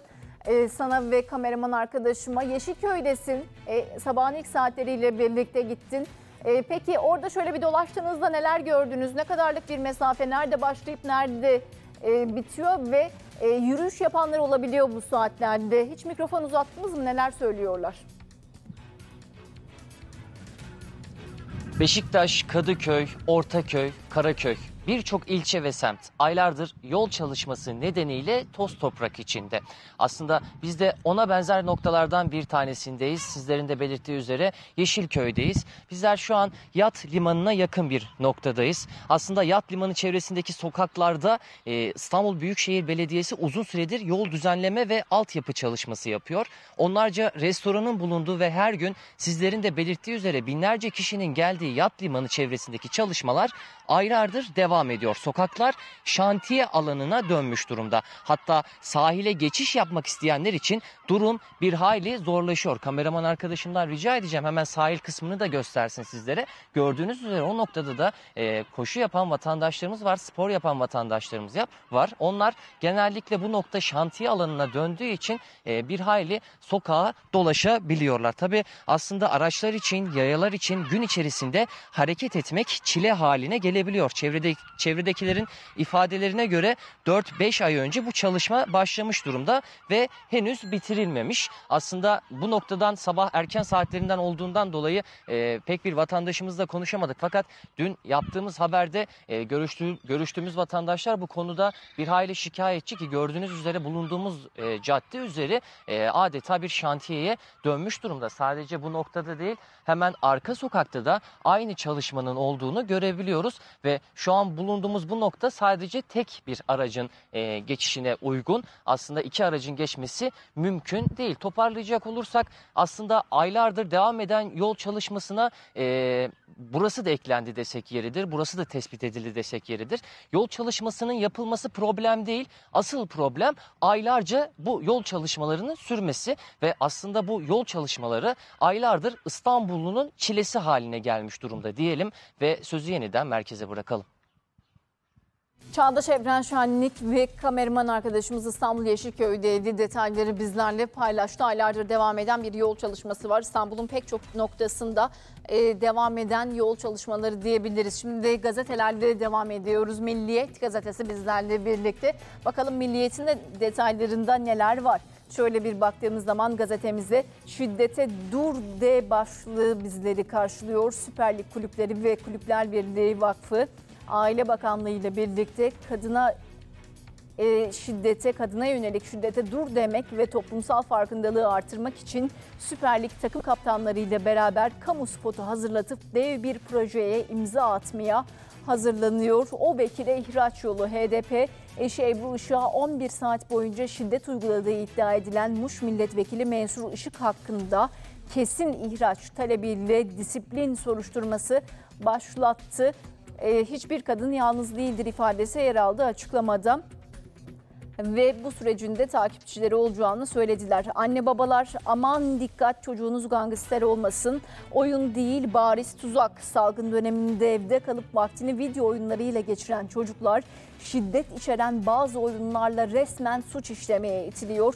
Türkiye'de çok yaygın davranış haline gelir e, başlıklarını görüyoruz E, ve e, bazı oyunlar vardı. Mavi balina, momo, mavi bebek e, bu tarz oyunların yanı sıra çeşitli talimatlarla şiddete sevk eden de e, çok sayıda oyun var. Bunlar da Real Gangster Crime e, gibi oyunlar. Aman dikkat diyoruz ebeveynlere. Ayasofya gençlik hayalimdi dedi Başkan Erdoğan. Ayasofya Camii'nin açılışı ile ilgili davet kısmının Diyanet'e ait olduğunu ifade ederek 1000-1500 kişinin alınacağını söyledi. Meclisteki ortak duruşun çok anlamlı olduğunu belirtti. Ayasofya esaret zincirinden kurtuldu. Bu bizim gençlik hayalimizdi dedi. Bu vedalara yürek dayanmaz. Van'da insanlı keşif uçağının önceki gün Artos Dağı'na çarparak düşmesi sonucu şehit olmuştu. 7 emniyet mensubumuz Siirt'in Pervar ilçesinde çatışmada şehit olan Özel Harekat Polisi Anıl Kemal Kurtul dün memleketinde düzenlenen törenlerle sonsuzluğa uğurlandı. Kimi şehidi son yolculuğuna eşi, çocuğu, kimisi annesi babası, kimi de kardeşini ve yakınlarını uğurladı ama hepsinin acısı aynıydı ve o acı yürekleri dağladı.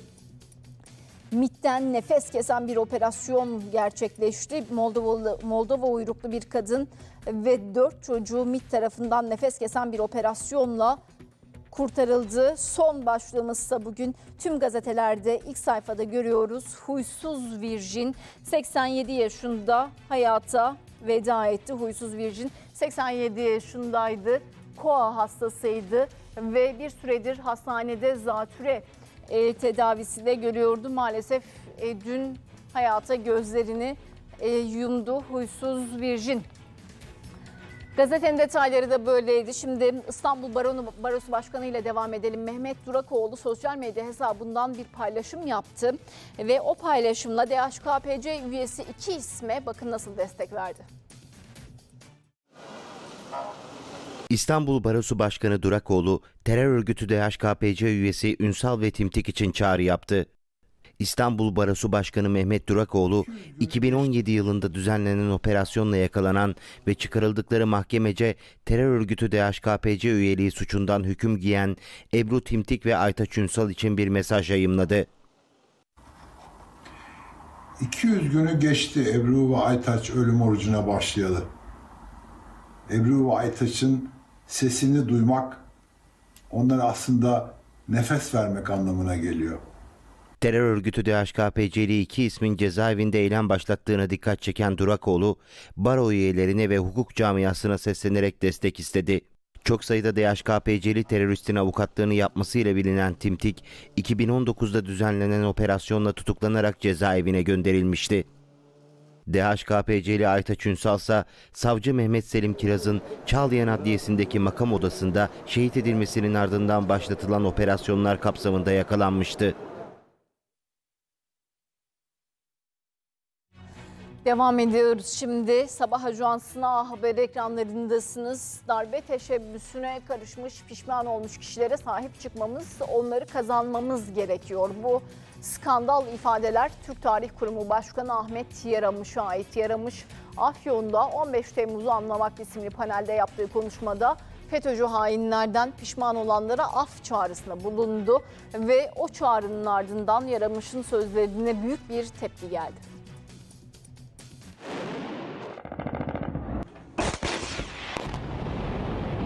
Hain darbe girişiminin dördüncü yılında 251 şehidin acısı hala tazeliğini korurken Türk Tarih Kurumu Başkanı Ahmet Yaramış'tan skandal bir çağrı geldi. Darbe teşebbüsüne karışmış, pişman olmuş, nedamet duyan kişilere de kişilere de e, sahip çıkmamız, onları onları bu toplumun içine dahil etmemiz, kazanmamız gerekiyor.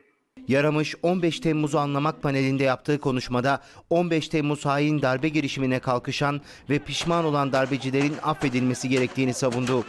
Bu darbelerin topluma vermiş olduğu zararı azaltmak için zaman içinde nedamet duyan, pişmanlık duyan insanları da bizim kazanmaya çalışmamız gerekiyor. Neticede bu bir sosyal yaradır aynı zamanda. Türk Tarih Kurumu Başkanı Ahmet Yaramış'ın bu sözlerine ise tepkiler gecikmedi. Yaramış tepkilerin ardından Türk Tarih Kurumu'nun resmi Twitter hesabından bir açıklama yapmak zorunda kaldı. Yanlış anlaşılmaya sebep olan ifadelerim için derin üzüntümü beyan ederim ifadelerini kullandı. İstanbul Eyüp Sultan'a gidiyoruz. Şimdi de İstanbul Eyüp Sultan'da gece saatlerinde bir kaza yaşandı. Sürücüsünün makas atarak e, ilerlediği iddia ediliyor. Otomobil sürücüsünün aynı yönde giden bir motosikletliye çarptı. Motosiklet devrildi. Motosiklet sürücüsü ise yaralandı. Otomobildeki sürücü arkadaşlarıyla birlikte motosikletliyi yaralı halde orada bıraktı ve kaçtı. Önce motosiklete çarptı, sonra olay yerinden kaçtı. İstanbul Eyüp Sultan'da iddiaya göre makas atarak ilerleyen bir otomobil aynı yönde giden bir motosikletliye çarptı. Kaza görmedim abi. Ama araç dönüyor, e, el freni çekiyor. Al- Alkollüymüş arkadaşlar. Amputata çarpıyor yani yanlamasına. Çarpmanın etkisiyle devrilen motosiklet sürücüsü yaralandı. Kazaya neden olan sürücü ise arabasını bırakarak olay yerinden kaçtı. E, makas atarak sağ tarife vurup vurup dört kişilerdi.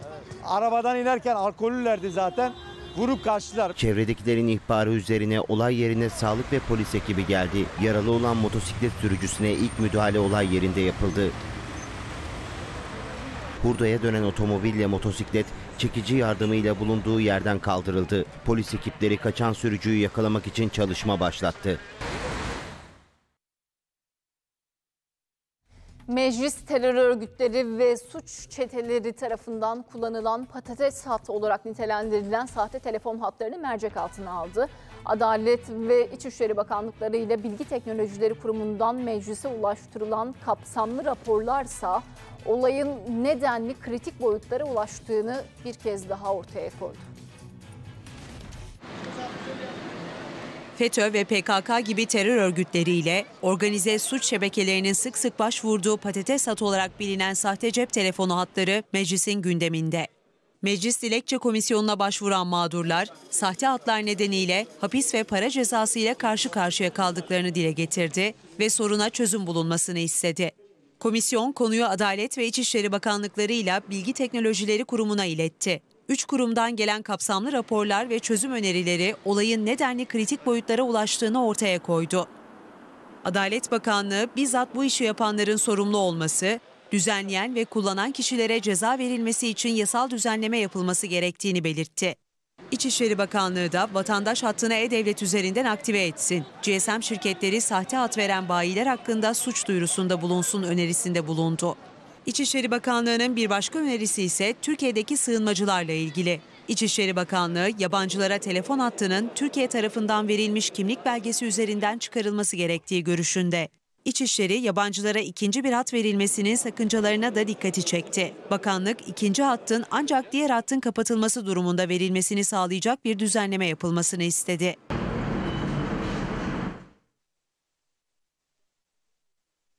Şimdi Elazığ'a gidiyoruz. Tarihi ve e, ilginç bir noktada e, demiştik arkadaşımız için. Elazığ'da e, Fırat Öztürk o noktada bizleri bekliyor. Harput'ta. E, Ulu Cami'nin minaresiyle ilgili bir yayın yapacak. Peki e, Ulu Cami'nin minaresinde acaba ne var? Neden bir yayın yapıyoruz o noktadan? Bizleri Fırat paylaşacak. E, Fırat günaydın, kolay gelsin. E, ne var o noktada paylaşabilir misin bizlerle?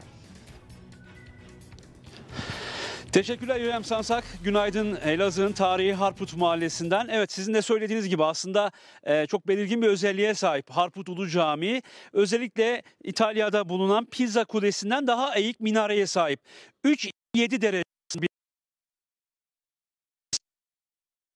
7 tarihinde Artuklular döneminde inşa edildi Harput Ulu Camii ve dediğimiz gibi sağ tarafa 3 ila 7 derecesinde bir eğikliğe sahip olan minaresi özellikle Elazığ'dan e, ve e, diğer şehirlerden ve e, hatta yurt dışından gelen ziyaretçileri var. Görmek istiyorlar e, ve e, Selçuk Evet e, daha sonra bir problem var. O problemi ortadan kaldırdıktan sonra Fırat'la o yayını gerçekleştireceğiz. Ama şimdi bir gazetemize bakalım bu sırada. A Haber ekranlarındasınız, Sabah Ajansı'ndasınız. Saatimiz 07.31 günün ilk saatleri. Bizim ikinci saat dilimimiz artık sonuna doğru yaklaşıyoruz. Türk Gün Gazetesi bizlerle. Ayasofya'da Cuma hazırlığı demiş Türk Gün Gazetesi bugün. Ayasofya'da hazırlıklar tüm hızıyla devam ediyor. 24 Temmuz itibariyle yani önümüzdeki hafta Cuma günü Cuma namazı ile birlikte ibadete açılacak. Ayasofya'daki hazırlıklar bugün Türk Gün Gazetesi'nde de sür manşette. Dualarla uğurladık şehitlerimizi son yolculuğuna tüm Türkiye kahraman şehitlerinin acısını yaşıyor. Bugün Türk Gün Gazetesi'nde ilk sayfadaydı. Duygusal anlar yaşandı e, şehitlerimizin toprağa verilme sırasında. Manşette Türk Gün Gazetesi'nde kardeş dayanışması başlığı bizleri karşılıyor. Türk F-16 savaş uçakları Azerbaycan'a destek için Ermenistan sınırında uçuş gerçekleştirdi. AK Parti, Cumhuriyet Halk Partisi, MHP ve İyi Parti Türkiye Büyük Millet Meclisi grupları ortak bildiri yayımlayarak Ermenistan'ın Azerbaycan'a yönelik saldırısını kınadı. Asıl amaçları ulaşım, hep yanlarındayız hesabını verecekler. SİHA'lar emirlerinde başlıklarını görüyoruz. Amerika Birleşik Devletleri'nde yaşayan Azi, Azerbaycanlılar da Ermenistan'ın Azerbaycan'a yönelik saldırılarına karşı Ermenistan'ın Washington Büyükelçiliği önünde bir protesto gerçekleştirdi. Başkan Erdoğan Cuma namazı sonrasında gazetecilerin sorularını yanıtladı. Bu bayramda kısıtlama yok dedi. En çok merak edilen sorulardan biri kuşkusuz buydu. Acaba Kurban Bayramı'nda bir kısıtlama olacak mı? Sokağa çıkma kısıtlaması olacak mı? Belli saatleri olacak mı? Bunun soruları merakla bekleniyordu. Başkan Erdoğan e, bu bayramın özellikleri daha farklı e, açıklamasında bulundu ve e, böyle bir düşüncelerinin olmadığını da söyledi. Net konuştu bu konuda. En doğal hakkımız dedi Ayasofya için ziyaretler serbest açıklaması da Kurban Bayramı ile ilgili. Rize, Rize'de temizlik iki kişinin ölümü ve 10 kişinin yaralanmasıyla sonuçlanmıştı. Sel ve heyelan felaketinin ardından dere yataklarındaki riskli yapılar için harekete geçildi. Yaralar sarılıyor. 4 iş yerinin yıkımı gerçekleştirildi e, ve bölgede dere yatakları kenarındaki yapılarında yıkılacağı bildirildi. İkramiyeler hesaplara yatmaya başladı. Emeklilere müjde Kurban Bayramı ikramiyeleri dün emeklilerin hesaplarına yatırılmaya başlandı. Temmuz aylıklarıyla Kurban Bayramı ikramiyeleri SSK'lı emekliler için 17-26 Temmuz, Bağkurlu emekliler için de 25-28 Temmuz tarihlerinde ödenecek. Balıkçılar inci kefali için vira bismillah dedi. Van Gölü'nün tuzlu ve sodalı suyunda yaşayabilen incir kefalinin üreme döneminde başlatılan av yasağı 15 Temmuz'da sona erdi. Göle açılan balıkçılar ağlarını suya bıraktı. Sahte yetkili servislere karşı serbest devrede. Bundan sonra Ticaret Bakanı Rusar Pekcan'la açıkladı. CHP'nin itirazına AYM'den red geldi. Anayasa Mahkemesi CHP'nin yeni infaz yasasının 14 maddesinin iptali ve yürürlüğünün durdurulması istedi sistemiyle yaptığı başvuruyu reddetti. Yasayla 90 bin kişinin cezaevinden tahliye edildiğini biliyoruz. CHP'liler şov yaptı başlığıyla gazete haberi paylaşmış. Havalimanına Anadolu Müzesi zirveye yerli hocalar damga vurdu ve dünyanın en soğuk yeri yanıyor demiş. Ee, Sibirya'dan bahsediyor gazete. Sibirya'da e, sıcaklıkların 40 dereceye ulaştığı haberini e, paylaşmıştık sizlerle daha önce. Gazetenin detayları böyleydi. Türk Gün Gazetesi'nde gündemi değerlendirdik. Başkan Erdoğan'ın açıklamaları Ayasofya ve e, elbette koronavirüs nedeniyle Kurban Bayramı'nda acaba bir kısıtlama olacak mı olmayacak mı bu konuşulmuştu. Şimdi LGS ile devam edelim. LGS sonuçları açıklandı. Tercih dönemi başlıyor. Bu yıl düzenlenen LGS sınavında şampiyon rekoru kırıldı. Tüm soruları doğru yanıtlayarak adını birincilerin arasına yazdıranlardan biri de Sıla Kaya'ydı. Ne kadar kendimizi motive ederek, ne kadar isteyerek çalışırsak e, zaten başarımızı elde edeceğiz. O da azmetti, başardı. Adını LGS'de Türkiye birincilerinin arasına yazdırdı. Bu yıl liselere geçiş sınavında 181 öğrenci 500 tam puan alarak birinci oldu. Ankara'da yaşayan Sıla Kaya da onlardan biriydi. Genellikle e, pazar günlerimi kendime ayırıyordum. O piknik, film, e, gezme, tozma hepsini pazar günleri rahatlıkla yapabiliyordum.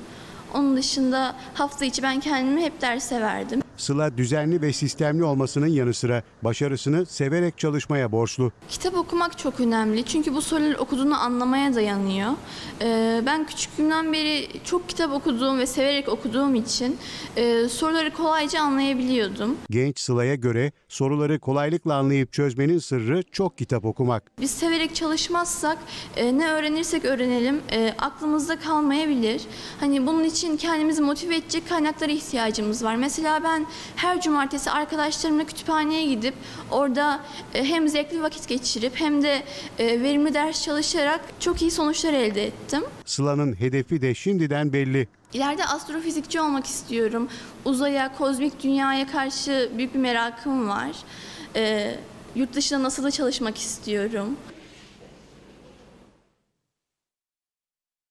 Umarız Sıla da hayallerine kavuşur. Şimdi marketlerle devam edelim. Marketlerin bitmek bilmeyen ama asla gerçeğe yansıtmayan bir indirim kampanyaları var. İşte o kampanyalar vatandaşlar tarafından CİMER'e şikayet olarak yağdı.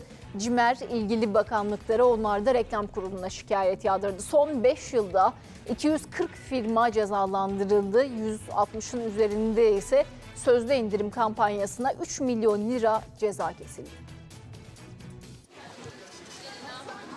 Gerçek olmayan yüksek fiyatlar üzerinden yapılan indirimler, hangi ürünün indirimde olduğunu belli etmeyen karışık ifadeler ve sürekli yaşanan stok problemleri. Göz boyamak için ortaya atılan sözde indirim kampanyalarının devri artık kapanıyor. Marketlerin indirim oyunundan rahatsız olan vatandaşın CİMER'e şikayetlerinin ardından yanıltıcı kampanyalar yapan şirketlere ceza yağıyor. Cazip fiyatlar, efsane fırsatlar derken aslında önce zam, sonra indirim yapan kurumlar gelen şikayetler üzerine reklam kuruluna takıldı. Cimer vatandaşlardan gelen şikayetleri bir bir yerine getirdi. Fırsatçılara göz açtırmadı. Reklam kurulu son 5 yılda 240 firmaya indirimli satışlara ilişkin reklam mevzuatını ihlal ettiği gerekçesiyle tüketiciyi yanıltıcı reklamı durdurma ve para cezası kesti. Sözde indirim ilan edilen fakat vaat edilen indirimi uygulamayan 160'ın üzerinde kampanyaya 3 milyon lira ceza kesildi. Normal fiyatı daha aşağı çekilerek algı yaratılmaya çalışılan ürünler hakkında da inceleme başlatıldı. Özellikle internet sitelerinde hiçbir zaman üzerinden indirim yapıldığı belirtilen fiyattan ürün satılmadığı belirlenen firmalara ceza kesildi. Reklam görsellerinde indirimin ne zaman başlayıp ne zaman bittiğini belirtmeyen karmaşık ifadelere de göz açtırılmadı.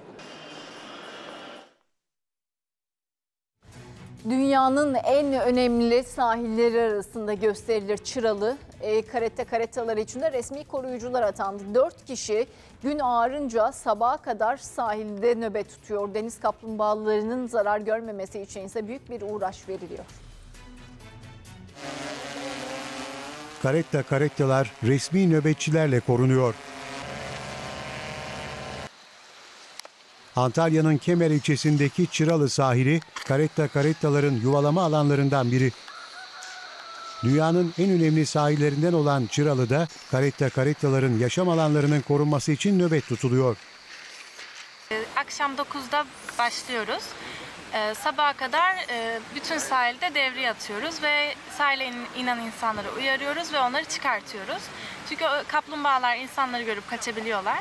Bir de akşam e, eğer kaplumbağa görürsek e, onu markalama yapıyoruz ve bu da takibimizi kolaylaştırıyor. Hangi kaplumbağa ne zaman çıktı, tekrar çıktı mı şeklinde onu takip etmemizi sağlıyor.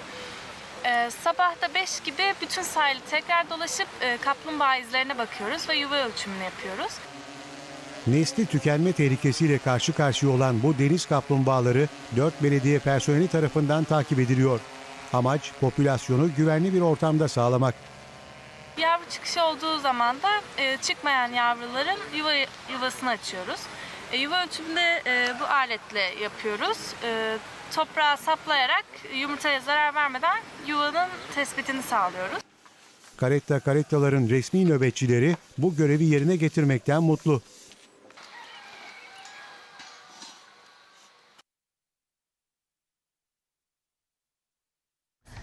Çay şekerli mi acaba şekersiz mi içilir? Şekerli ve şekersiz içenler arasında bir tartışma söz konusu çay konusunda. Ee, Rizeliler de çayın merkezi de bu tartışmaya dahil olmuş durumda. Tabii e, onlar da bu tartışmaya dahil olunca ortaya bir hayli renkli e, cevaplar çıktı. Gelin hep birlikte dinleyelim. Çayı şekerli içen de var, şekersiz içen de. Küp şeker e, tadını bozuyor. Lezzetini kaçırıyor. Tartışmaya son noktayı Rizeliler koydu. Şekersiz içiliyor da ben şekerli içiyorum. Genellikle şekersiz içilir daha lezzetli olur diye. Ben de şekersiz içtiğim yok ama ben şimdi benim hanım da mesela şekersiz içiyor çay. Çay şekerli içilir. Bunu da toz şekerle içeceksin. Şekersiz. Niye? Ee, çay şekersiz damak tadı daha güzel oluyor. Çay olmaz şekerli. Koydun şekeri buna çay bitti. Çay içme daha. Rizelileri de ikiye bölen tartışmaya uzmanlar açıklık getirdi. Eğer biz bunu şekerle içersek şekerle beraber bir bileşik oluşturuyor ve vücutla şekerle beraber çıkıyor. Fakat biz bunu şekersiz içersek vücudumuzdaki antioksidanlarla bileşik yaparak antioksidanları vücuttan atmış oluyor. Eğer çayın %100 faydalarından yararlanmak istiyorsak tabii ki şekersiz içmeliyiz. Haber ekranlarında sabah ajansı ile devam ediyoruz. Ben İrem Sansak. Saatimiz 8'i gösteriyor. Yeni saat dilimindeyiz ve bir kez daha sıcak gelişmelerle karşınızdayız ve canlı yayınlarımız var, canlı bağlantılarımız var. Arkadaşlarımız sıcak noktalardalar. Kimlerde hemen bir bakalım 8 itibariyle İran Azerbaycan'a destek için gösteri düzenlemek isteyenleri izin vermedi. Gösterilere müdahale edildi. Ekber Karabağ detayları bizlerle paylaşacak. Amerika Birleşik Devletleri, İngiltere ve Kanada Rusya'yı aşı çalışmaları yürüten kurumların verilerini çalmakla suçladı. Rusya'dan bir yanıt geldi. O yanıtı işte bizlerle Akşin Kişi'ye paylaşacak Rusya'dan, Moskova'dan. Türkiye'nin yumurta ihtiyacı Afyon Karahisar'dan karşılanıyor. Son detayları bizlerle Ata Gündüz Kurşun paylaşacak Afyon Karahisar'dan ve Muğla Türkiye'nin en uzun en uzun sahil şeridine sahip Muğla deniz koruyucuları burada 24 saat görev yapmakta. Deniz canlılarını koruyorlar. İşte tüm bu sıcak başlıklar birazdan sizlerle olacak ama öncesinde e, şehitlerimiz vardı biliyorsunuz. Şehitlerimizle ilgili bir haberimiz var. Van ve Siirt'te şehit olan polislerden 6'sı İzmir, Mersin, Bursa, Manisa, Kırıkkale ve Hatay'da son yolculuklarına uğurlandı.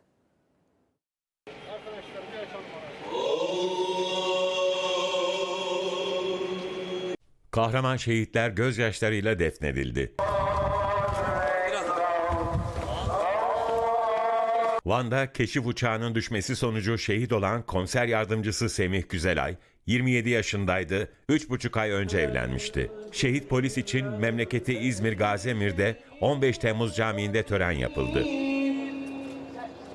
Milli sporcu olan şehit polis 2007 yılında Yıldızlar kategorisinde Avrupa şampiyonu olmuştu.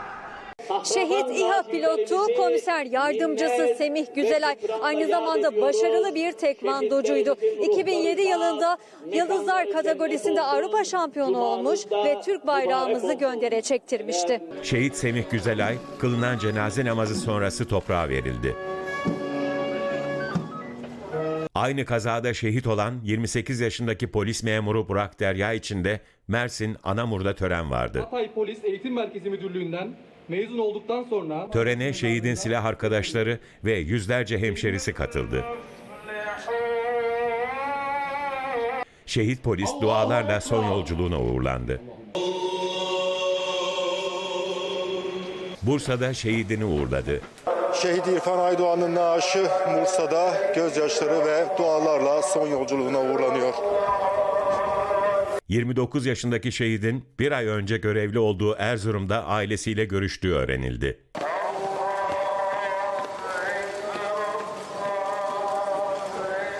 Mesai arkadaşlarıyla birlikte uçak kazasında şehit olan 30 yaşındaki Onur Ramazan Bayram, Manisa Alaşehir'de defnedildi.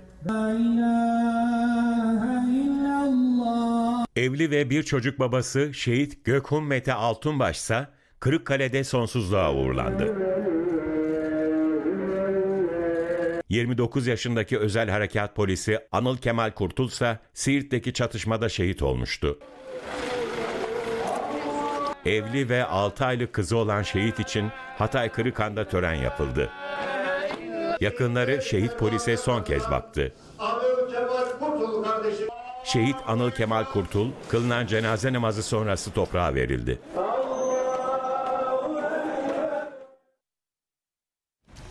Şehitlerimiz gözyaşları ve dualarla ebediyete uğurlandı ve Başkan Erdoğan. Başkan Erdoğan dün İstanbul'daydı. Gün İstanbul'da geçirdi. Evinden çıktıktan sonra Üsküdar'daki Hazreti Ali Camii'ne gitti. Cuma namazını orada kıldı ve e, çıkışta gazeteciler onu bekliyordu. Soruları vardı. O da o soruları yanıtladı. Gündeme dair çok önemli açıklamaları var. E, bir kere Ermenistan'ın Azerbaycan'a yönelik saldırılarına çok sert bir şekilde tepki verdi e, Libya ile ilgili açıklamalarda bulundu. Bayramda kısıtlama olacak mı, olmayacak mı? İşte bu sorunun yanıtı da Başkan Erdoğan'daydı. Hep birlikte kulak veriyoruz. Ermenistan işgalci ve Minsk üçlüsü yaklaşık 25 yıldır, 30 yıldır bu işi masada bırakmıştır. Bu işi hala çözmemiştir, çözememiştir. Başkan Recep Tayyip Erdoğan bu sözlerle Azerbaycan'a provokatif saldırılar düzenleyen Ermenistan'a tepki gösterdi. Azerbaycan'ın yanındayız dedi. İşin bu noktalara geleceği de belliydi. İşte şu anda da Ermenistan biliyorsunuz sürekli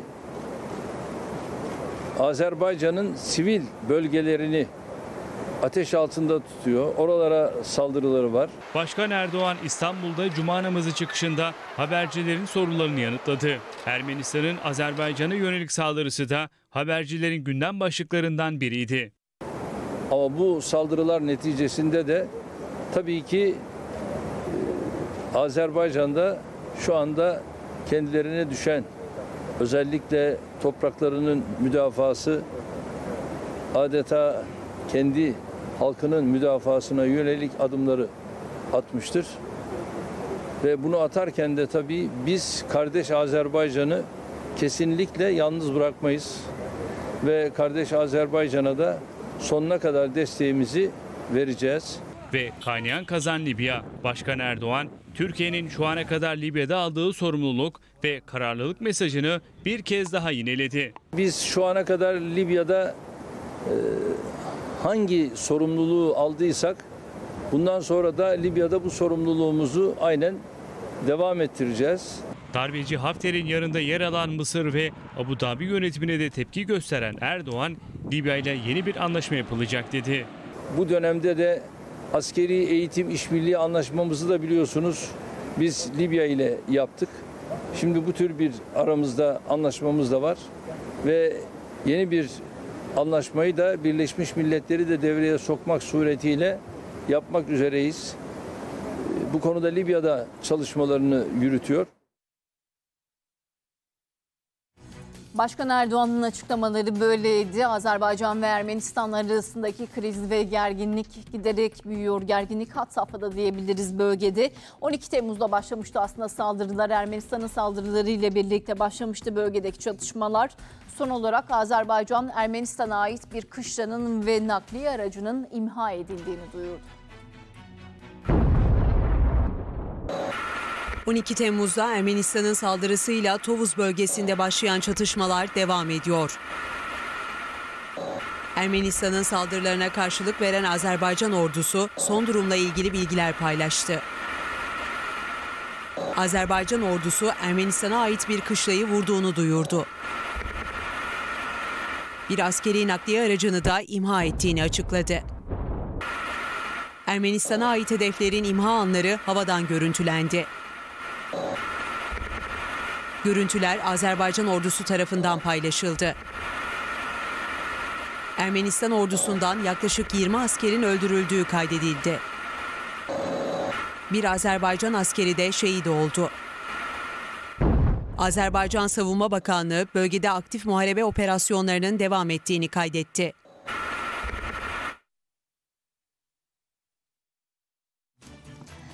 Azerbaycan'a bir destek de Michael Essien'den geldi. Chelsea'deki performansıyla tanımıştık aslında bizler. Michael Essien'i dünya öyle tanımıştı.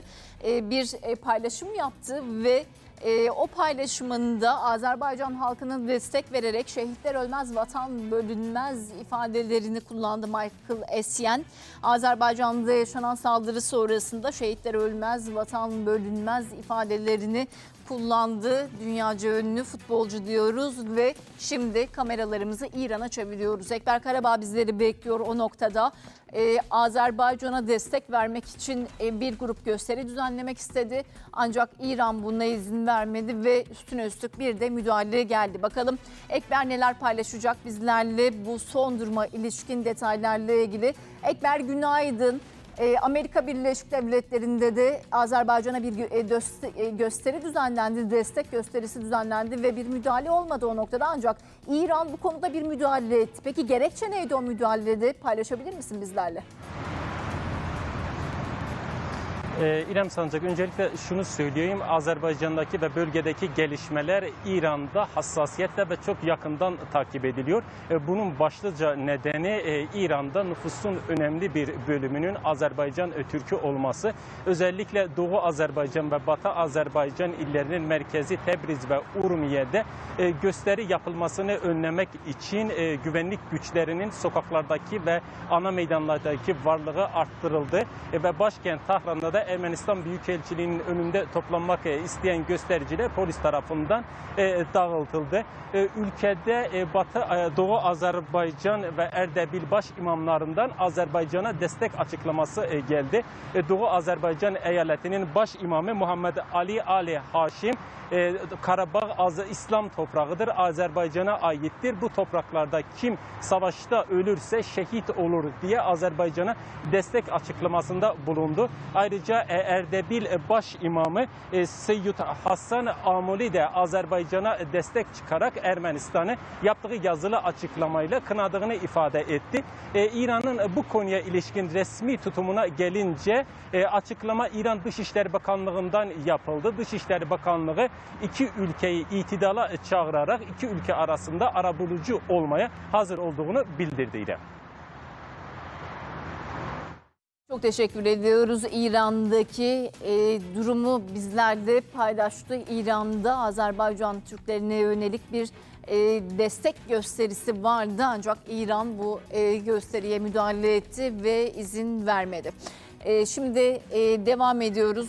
Yeni haberimizle Amerika Birleşik Devletleri'ne uzanıyoruz. Amerika Birleşik Devletleri'nde e, siyahi George Floyd'un polis şiddeti sonucu hayatını kaybetmesini hatırlayacaksınız. Amerika Birleşik Devletleri'nin dört bir yanında e, gösteriler vardı ve o gösteriler sadece Amerika ile sınırlı kalmadı. Avrupa ve diğer ülkelerde de e, siyahlara destek gösterileri sürmüştü.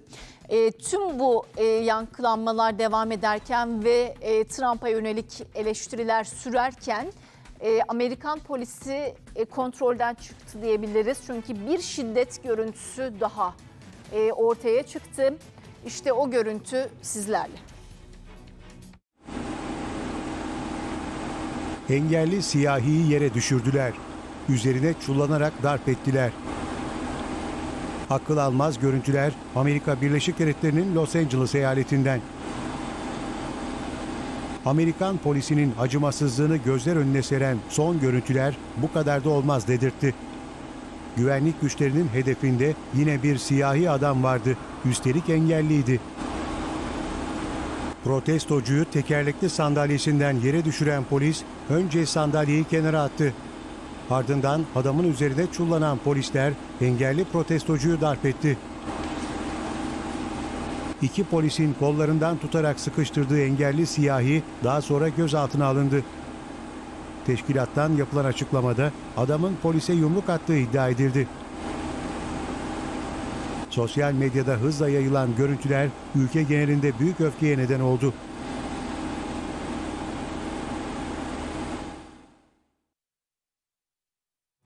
Yaşananlar gerçekten Amerika Birleşik Devletleri'nde inanılır gibi değil. Trump'a yönelik eleştiriler bu konuyla ilgili de özellikle demokratların eleştirileri e, sürmekte. Şimdi gazeteler diyoruz. A Haber ekranlarında sabah ajansındasınız.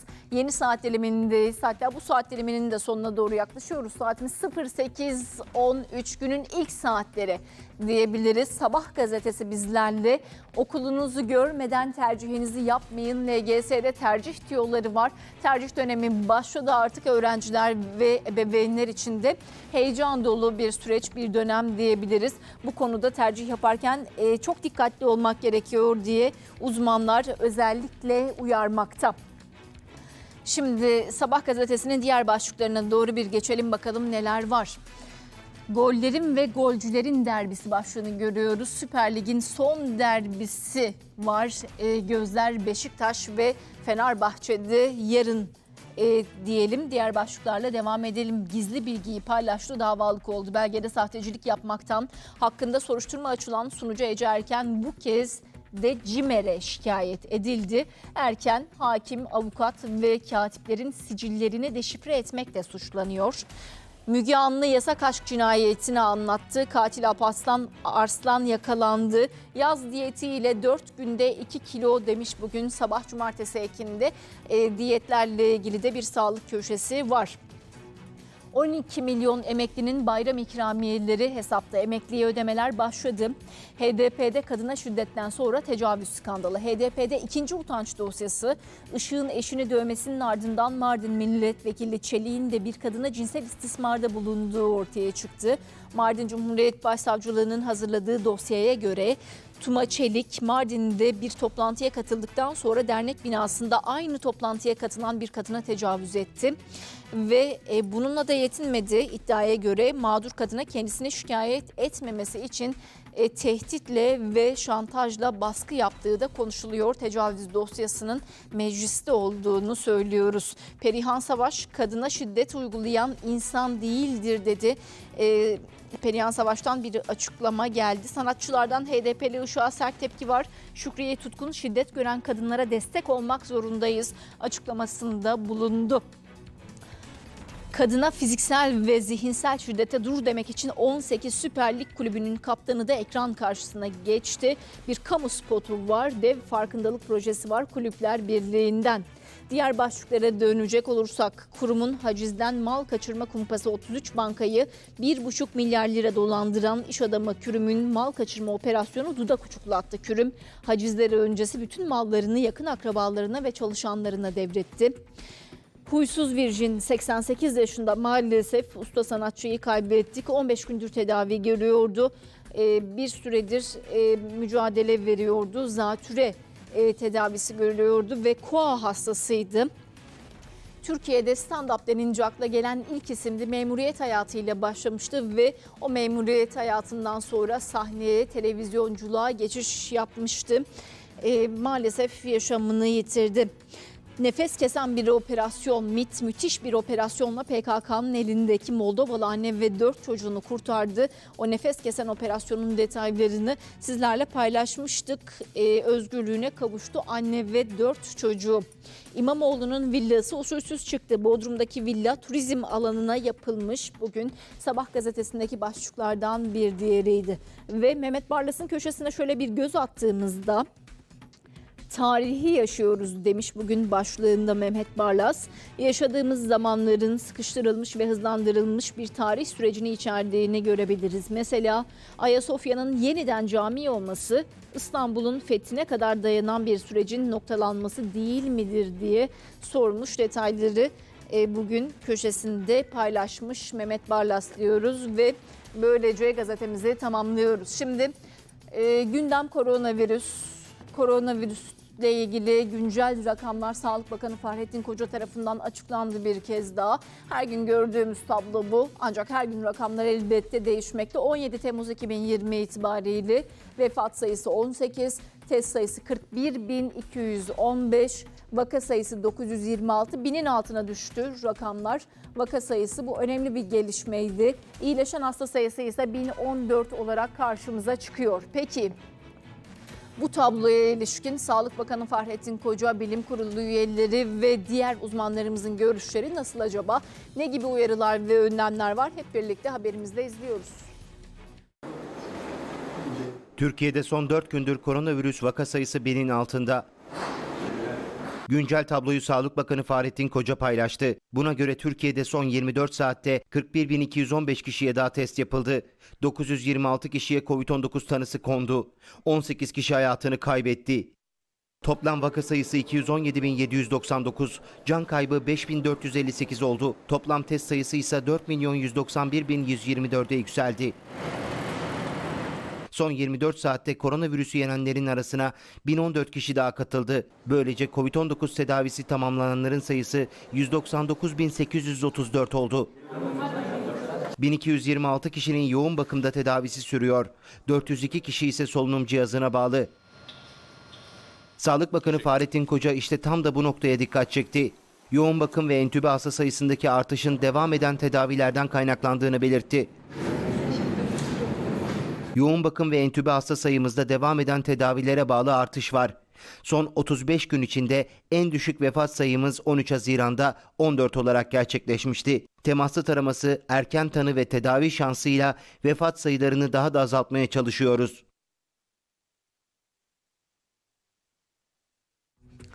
Sağlık Bakanı Fahrettin Koca'nın açıklamaları böyleydi. Havuz ve plaj uyarısı da geldi Sağlık Bakanı'ndan. Sosyal medya hesabı Twitter'dan bir açıklama yaptı Sağlık Bakanı Fahrettin Koca. Koronavirüsün damlacıklarla bulaştığını vurguladı. Riskli damlacık sayısı havuz ve plajlarda da tıpkı diğer ortamlardaki gibi insan yoğunluğuna bağlı şekilde artar. Tedbirlerin üçüncü şahıslı tüm yerlerde geçerli olduğunu belirten Koca, kurallara uyulursa tatilin kalitesi artar ifadesini kullandı. Koca tatil planları sloganının ise kum gibi kalabalıktan uzakta olması gerektiğine işaret etti. Kum gibi kalabalıktan uzakta bir tatil olması gerektiğini söyledi. Tatille ilgili sloganını böyle açıkladı Sağlık Bakanı Fahrettin Koca ve havuz plaj uyarısını tekrarladı. Koronavirüsle ilgili Sağlık Bakanı Fahrettin Koca'nın açıklamaları ve son detaylar böyleydi. Tedbirler elbette devam ediyor. Yeni bir normalleşme sürecimiz var. Yeni bir normalimizi yaşıyoruz artık bu normale. Yavaş yavaş alışıyoruz. Sosyal mesafemiz var. Maskelerimizi takıyoruz mutlaka dışarıda. Ve 1 Temmuz itibariyle de tiyatrolar perdelerini açtı. Ee, yeni sezon oyunlarıyla birlikte tiyatrolar seyircisini bekliyor. Koronavirüs tedbirleri kapsamında kapılarını kapatan tiyatro ve sinemalar 1 Temmuz itibariyle yeniden açıldı. Devlet tiyatroları üst düzey önlemlerle seyirciyi ağırlayacak. E, girişte izleyicilerimizi ateşlerini ölçeceğiz. E, maskeleri olup olmadığını e, kontrol edeceğiz. Eğer yoksa temin edeceğiz. E, görmüş olduğunuz koltuklarda fiziksel mesafe e, korunarak e, izleyicilerimiz oyun izleyecekler. E, hijyen malzemelerimiz e, bu açık hava tiyatrosunun çeşitli yerlerine e, dağıtılacak. Bursa'da devlet tiyatroları en ilgi çeken oyunlarla sezonu açtı. E, Bursa Kültür Park Açık Hava Tiyatrosu'nda e, 18 Temmuz, 19 Temmuz, 20 ve 21 Temmuz tarihlerinde Keşanlı Ali Destanı adlı müzikalimiz izleyiciyle buluşacak. 23, 24, 25, 26 Temmuz tarihlerinde saat 9'da yine Kültür Park Açık Hava Tiyatrosu'nda Akide Şekeri adlı oyunumuz e, izleyiciyle buluşacak.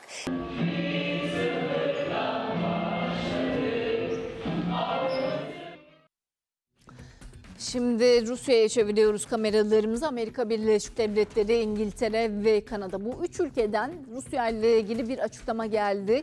Ee, Rusya'yı hırsızlıkla suçladılar. Aşı çalışmalarını yürüten kurumların bilgilerini çalmakla suçladılar. Şimdi Rusya'ya dönüyoruz. Akşin Kişiye bu noktada bizleri bekliyor. A Haber Moskova temsilcisi.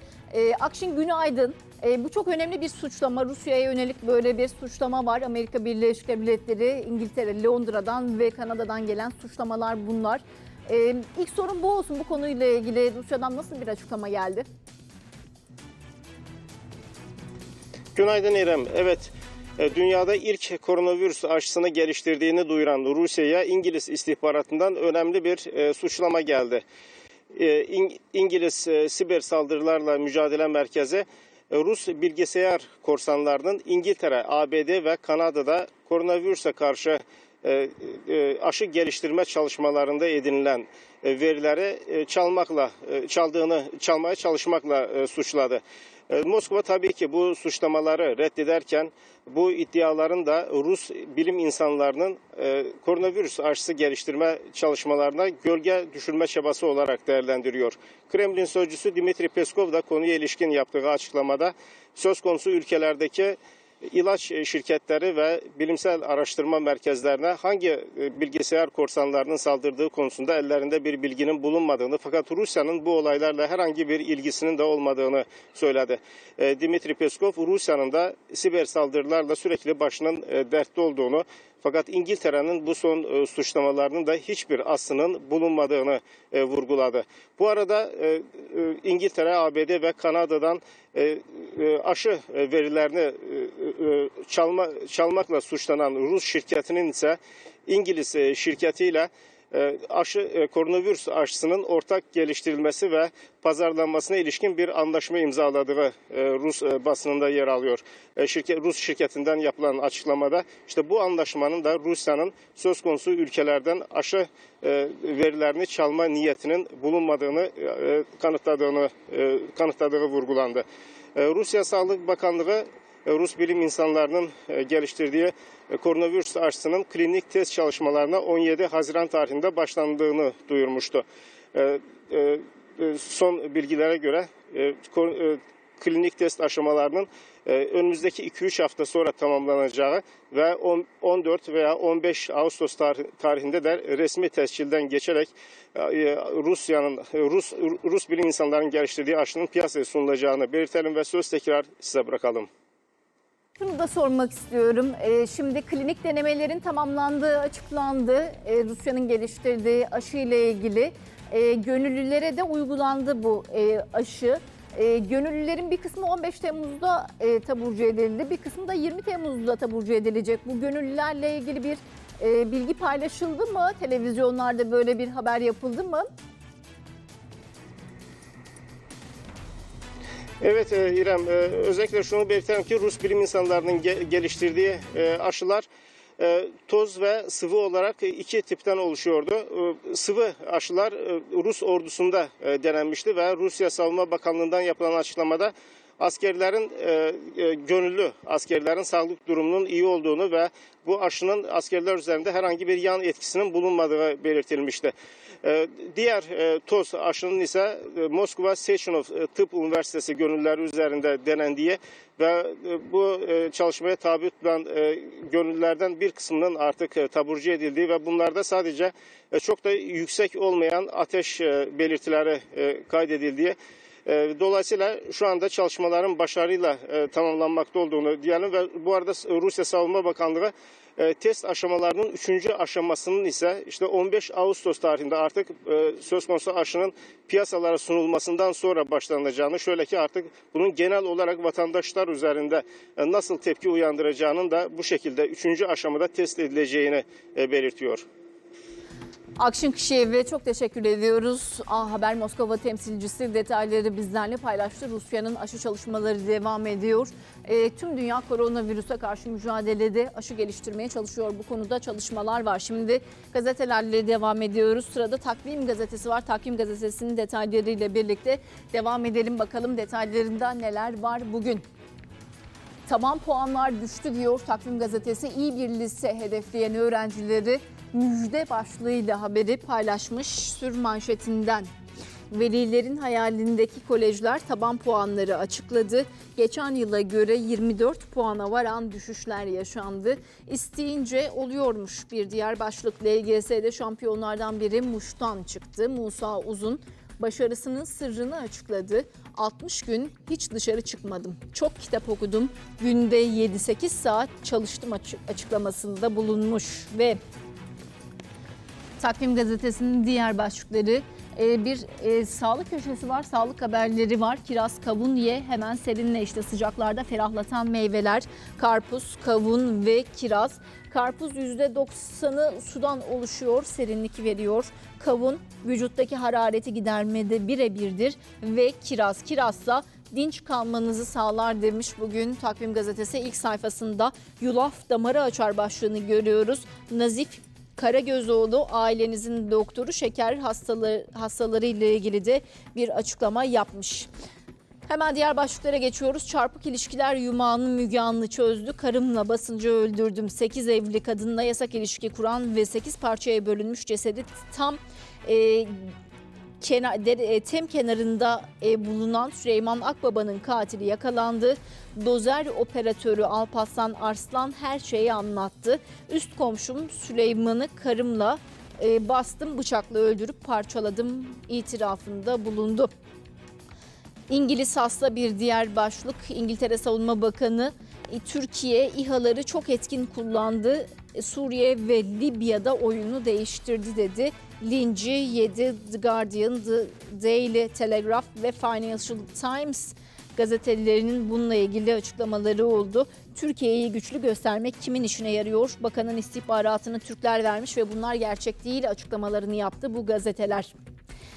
Sayın katili Adana'da alkollü sürücü Engin Sayın kaza yaptı. Arkadaşı Emrah Gülçiçek'i aradı. Gel kazayı üstlen teklifine red cevabı aldı. Tabancayla öldürüp kaçtı. 5 yıl kira ödemedi. Bursa'da Hasan son öner 5 yıl kira ödemedi. Ev tahliye edilince de sinirlendi. Şimdi ne yapacağım dedi. Köpek beni yiyecekti. Adana'da 13 yaşındaki Yılmaz Akalın ayağını pitbull cinsi köpek parçaladı. Küçük çocuk dehşeti anlattı. 15 kişi zor kurtardı. Gelmeseler beni yiyecekti dedi. Yine Pitbull yine bir facia. Pitbull faciasının kıyısından dönüldü. Başlığıyla gazetede haber yer almakta. Ergün Diler yazmış bugün köşesinde hangi sektörde kimin büyük balık olacağı belli değil. Amerika Birleşik Devletleri, Avrupa, Asya ve Afrika'da Afrika'da yeni oyuncular hazır. Yüzlerce şirketin ortaklık yapıyor, yapması e, şimdiden değişti. E, salgın bu nedenle de bitmiyor. Devir teslim bittiğinde aşıda gelecek dedi Ergün Diler. Huysuz Virjin'den sadece haber geldi. Huysuz Virjin karakteriyle tanınan Seyfi Dursunoğlu tedavi gördüğü hastanede hayatını kaybetti. Usta oyuncunun vefatı e, tüm sanat dünyasını ve Türkiye'yi derinden etkiledi. 87 yaşındaydı Huysuz, Huysuz Virjin e, ve e, sanat dünyası için, televizyon dünyası için önemli isimlerden biriydi. Gazetemizin detayları böyleydi. Şimdi Bursa'ya gidiyoruz. Türkiye'nin otomobili girişim grubu tarafından Gemlik'te kurulacak fabrikanın alanında çalışmalar yoğun bir şekilde devam etmekte. Türkiye'nin otomobilinin üretileceği alan havadan da görüntülendi. Askeri alanda yapılacak fabrikanın inşaatında tam 2000 kişi çalışacak. Şimdi bölgeden görüntüler sizlerle.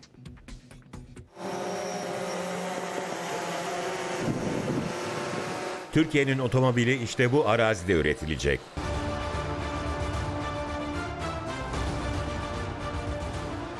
Türkiye'nin otomobili girişim grubu tarafından Gemlik'te kurulacak fabrikanın alanında çalışmalar yoğun şekilde devam ediyor.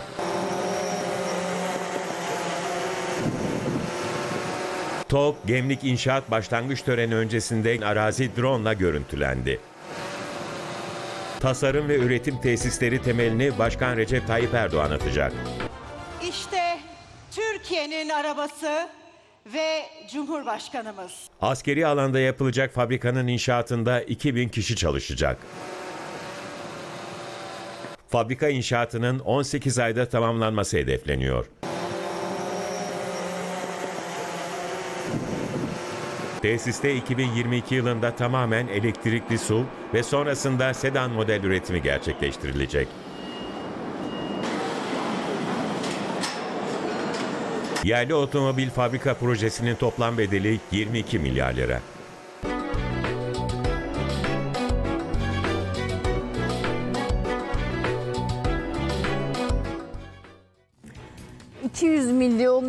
Kapasitesine ulaşma hedefiyle dünya havacılık sektöründe zirveye oynayan İstanbul Havalimanı'na gideceğiz şimdi. İstanbul Havalimanı'nda bir müze açıldı. E, kapılarını açtı ziyaretçilerine. Dünyadaki en büyük kapalı alana sahip havalimanı müzelerinden biri olduğunu söyleyebiliriz. Tarihin izlerini taşıyor bu müze. Tahtın Yüzleri sergisi adı da. Ve bu müzenin açılışını Kültür ve Turizm Bakanı Mehmet Nuri Ersoy yaptı. Türkiye'nin gözbebeği dev projelerden İstanbul Havalimanı'nda Türkiye'nin tanıtımına önemli katkı sağlayacak adım atıldı. Havalimanının dış hatlar terminaline müze kuruldu. Müzenin açılışını Kültür ve Turizm Bakanı Mehmet Nuri Ersoy yaptı. Türkiye'ye kadar gelip İstanbul'a kadar iniş yaptıktan sonra başka bir ülkeye devam eden misafirin aklını çelmek, Anadolu'nun farkındalığını yaratmak için böyle bir projeyi hayata geçiriyoruz. Müze, Türkiye'nin hazineleri, tahtın yüzleri sergisiyle kapılarını açtı. Sergide tarihin sıfır noktası Göbekli Tepe'den çıkarılan eserlerden başlayarak Roma, Bizans, Selçuklu, Osmanlı ve Cumhuriyet dönemine ait eserler ziyaretçilere sunuluyor. Türkiye'nin hemen hemen her bölgesinden yaklaşık 27 müzeden çoğunluğu Kültür ve Turizm Bakanlığı'na bağlı olmak üzere biri de Milli Saraylar Daire Başkanlığı Topkapı Sarayı bir de Yazma Eser Kurulu'na ait müzelerden toplamda 316 eser e, bu müzede sergilenmekte. Roma İmparatorluğu salonunda bir bütün heykel olarak yalnızca İmparator Caracallaa'nın heykeli sergileniyor. Arka tarafta ise Roma İmparatorlarının büstleri yer alıyor. Burada dikkati en çok çekense İmparator Hadrianus'un gözlerine video mapping yani ışıklandırma oyunuyla canlıymış hissi verilmiş olması. Antalya'daki Perge Antik Kenti'nde bulunarak Antalya Müzesi'nde sergilenen e, Karakallı, İmparator Karakallı heykeli milattan sonra 2. yüzyılın başlarına tarihleniyor. E, Karakalla zalim imparator diye tarihe geçmiştir. Fatih Sultan Mehmet Han'ın madalyonu yine Osmanlı dönemine ait bir kılıç. Ve bu tarafta da Osmanlı askerlerinin giydiği zırhlar, miğferler, Türkiye'nin hazineleri tahtın yüzleri sergisinde Türk İslam eserleri salonunda görülebilecek eserlerden birkaçı hatlar, levhalar, e, zırhlar, kılıçlar, aklınıza gelebilecek insan hayatında Tılsımlı gömlekler. her şey, evet tılsımlı gömlekler, insan hayatına dair her şey bu müzede görülebilecek. İstanbul Havalimanı Müzesi'nde tarihin bilinen ilk yazılı antlaşması Kadeş Antlaşması da sergileniyor. Müzenin her yıl farklı bir konseptle yolcuları karşılaması planlanıyor. Yaklaşık 12 milyon emekliye Kurban Bayramı ikramiyesi ödemeleri dün itibariyle başladı. SSK ve Bağkur emeklileriyle emekli sandığı kapsamında olan vatandaşlar aylıklarını ve 1000 liralık bayram ikramiyelerini aynı anda 29 Temmuz tarihine kadar hesaplarında görebilecekler. Milyonlarca emeklinin heyecanla beklediği gün geldi. Kurban Bayramı ikramiye ödemeleri başladı. Emekli aylıkları Kurban Bayramı ikramiyeleriyle birlikte 29 Temmuz tarihine kadar hesaplarda olacak. Bu kapsamda SSK emeklileri zamlı Temmuz aylıklarıyla Kurban Bayramı ikramiyelerini 26 Temmuz tarihine kadar hesaplarından çekebilecek. Bağkur emeklilerinin aylıklarıyla Kurban Bayramı ikramiyeleri ise 25 ile 28 Temmuz tarihleri arasında yatırılacak.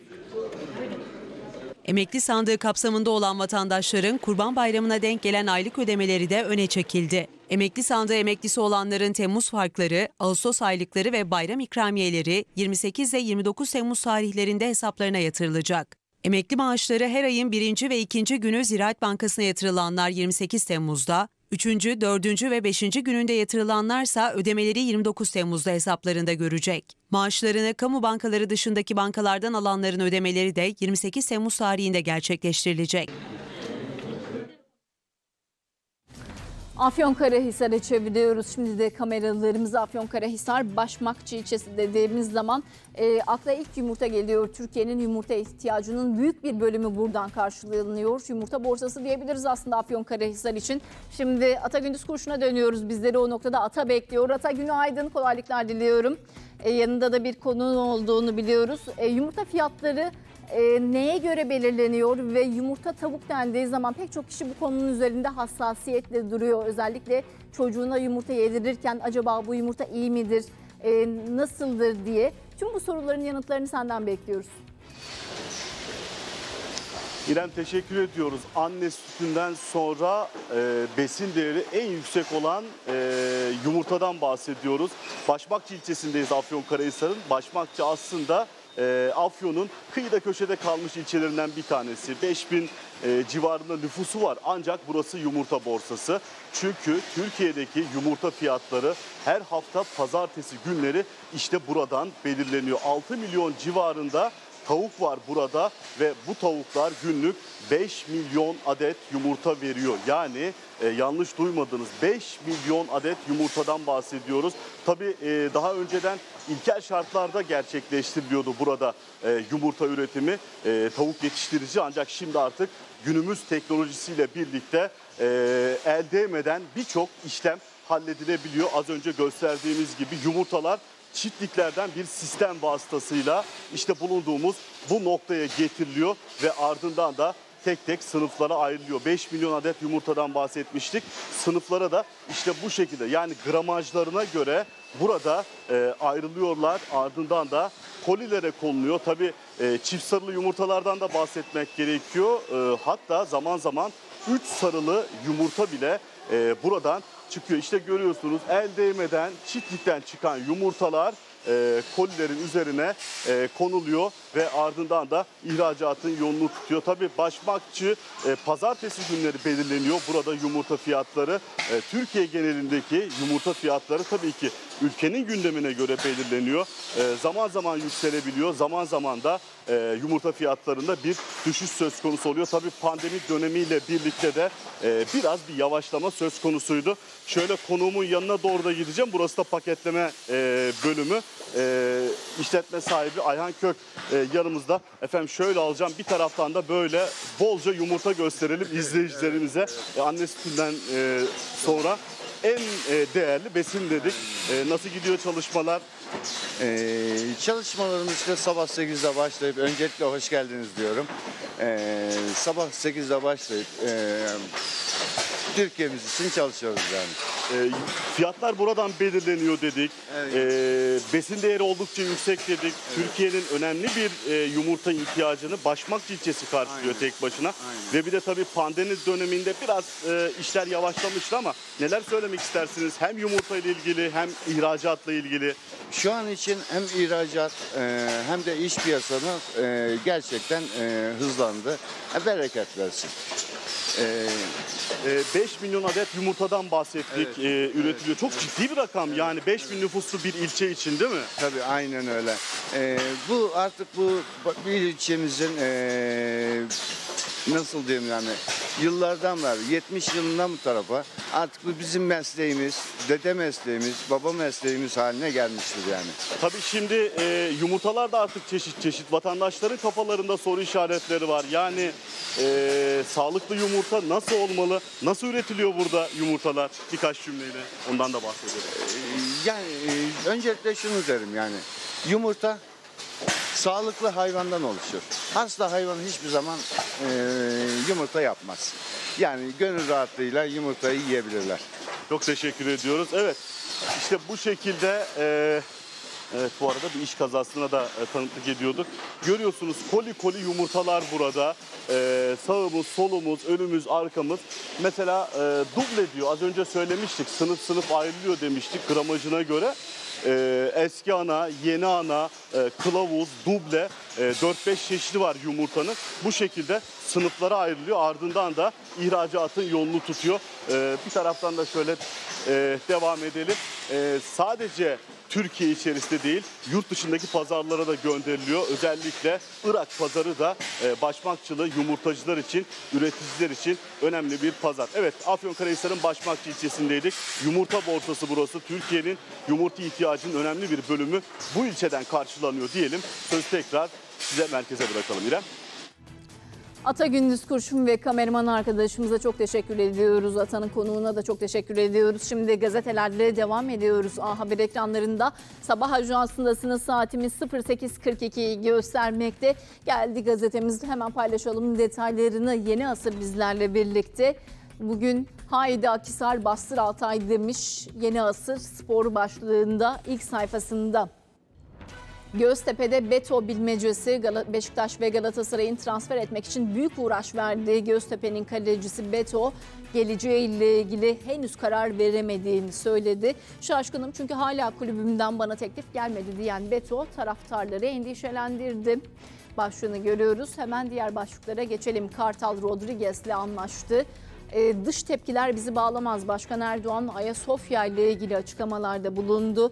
Esaret zincirinden kurtulduğunu belirtti. Ayasofya'nın milletimizin özlemiydi, yerine gelmiştir. Bizim de gençlik hayalimizdi dedi. Başkan Erdoğan'ın Ayasofya ile ilgili açıklamaları böyleydi. Şimdi manşete bir dönelim yeni asırda. İşte büyük şehirde sansürlenen rapor. Büyükşehir Belediye Meclisi'nde CHP grubunun baskısıyla sunumu engellenen raporu paylaşmış Yeni Asır. AK Partili meclis üyesi Erhan Çalışkan'ın hazırladığı Soyer'in karnesini ortaya koyan o raporu İzmirlilerin bilgisine sunuyoruz demiş. Başkan Soyer sınıfta kaldı başlığıyla. Nerede bu projeler bir diğer başlıktı. Alt başlıklara doğru ilerleyelim gazetede. Alaçatı'da beachler alev alev başlığı bizleri karşılayan bir diğer başlık. İzmir'in en gözde tatil beldelerinden olan Çeşme'nin Alaşatı mahallesinde dün akşam saat 17 sıralarında Otluk ve Makilik alanda yangın çıktı. Orman Bölge Müdürlüğü ekiplerinin havadan ve karadan müdahalesiyle birlikte alevler yaklaşık 2 hektarlık alanda etkili olduktan sonra kontrol altına alındı. Şehitlerimizi uğurladık. Dün Emniyet Genel Müdürlüğü'ne ait keşif uçağının Van'da Artos Dağı'na çarparak düşmesi sonucu 7 emniyet mensubumuz şehit olmuştu. Memleketlerinde dualarla, gözyaşlarıyla son yolculuklarına uğurlandı şehitlerimiz. Gez dünyayı, gör bilgiye bir diğer başlık. Türk Halk Müziği'nin yaşayan efsanelerinden Bediye Akartürk, Ödemiş Birgi'deki evinin kapılarını açmış, çocukluğunun Birgi'de geçtiğinden bahsetmiş. Dünyayı gezdim ama Birgi'den güzelini görmedim. Açıklaması da bugün özel haberi olarak yeni asırda yer alıyor. Pazar parasıyla madalya aldı. Denizli Çardak'ta yaşayan 19 yaşındaki Mahmut Koç. Annesinin verdiği 80 lira pazar parasıyla spor salonuna kaydoldu. Bilek güreşine merak sardı ve dünya dördüncüsü oldu. Son başlıkları sizlerle paylaşalım. Dövme sildirirken vücudu çürüdü.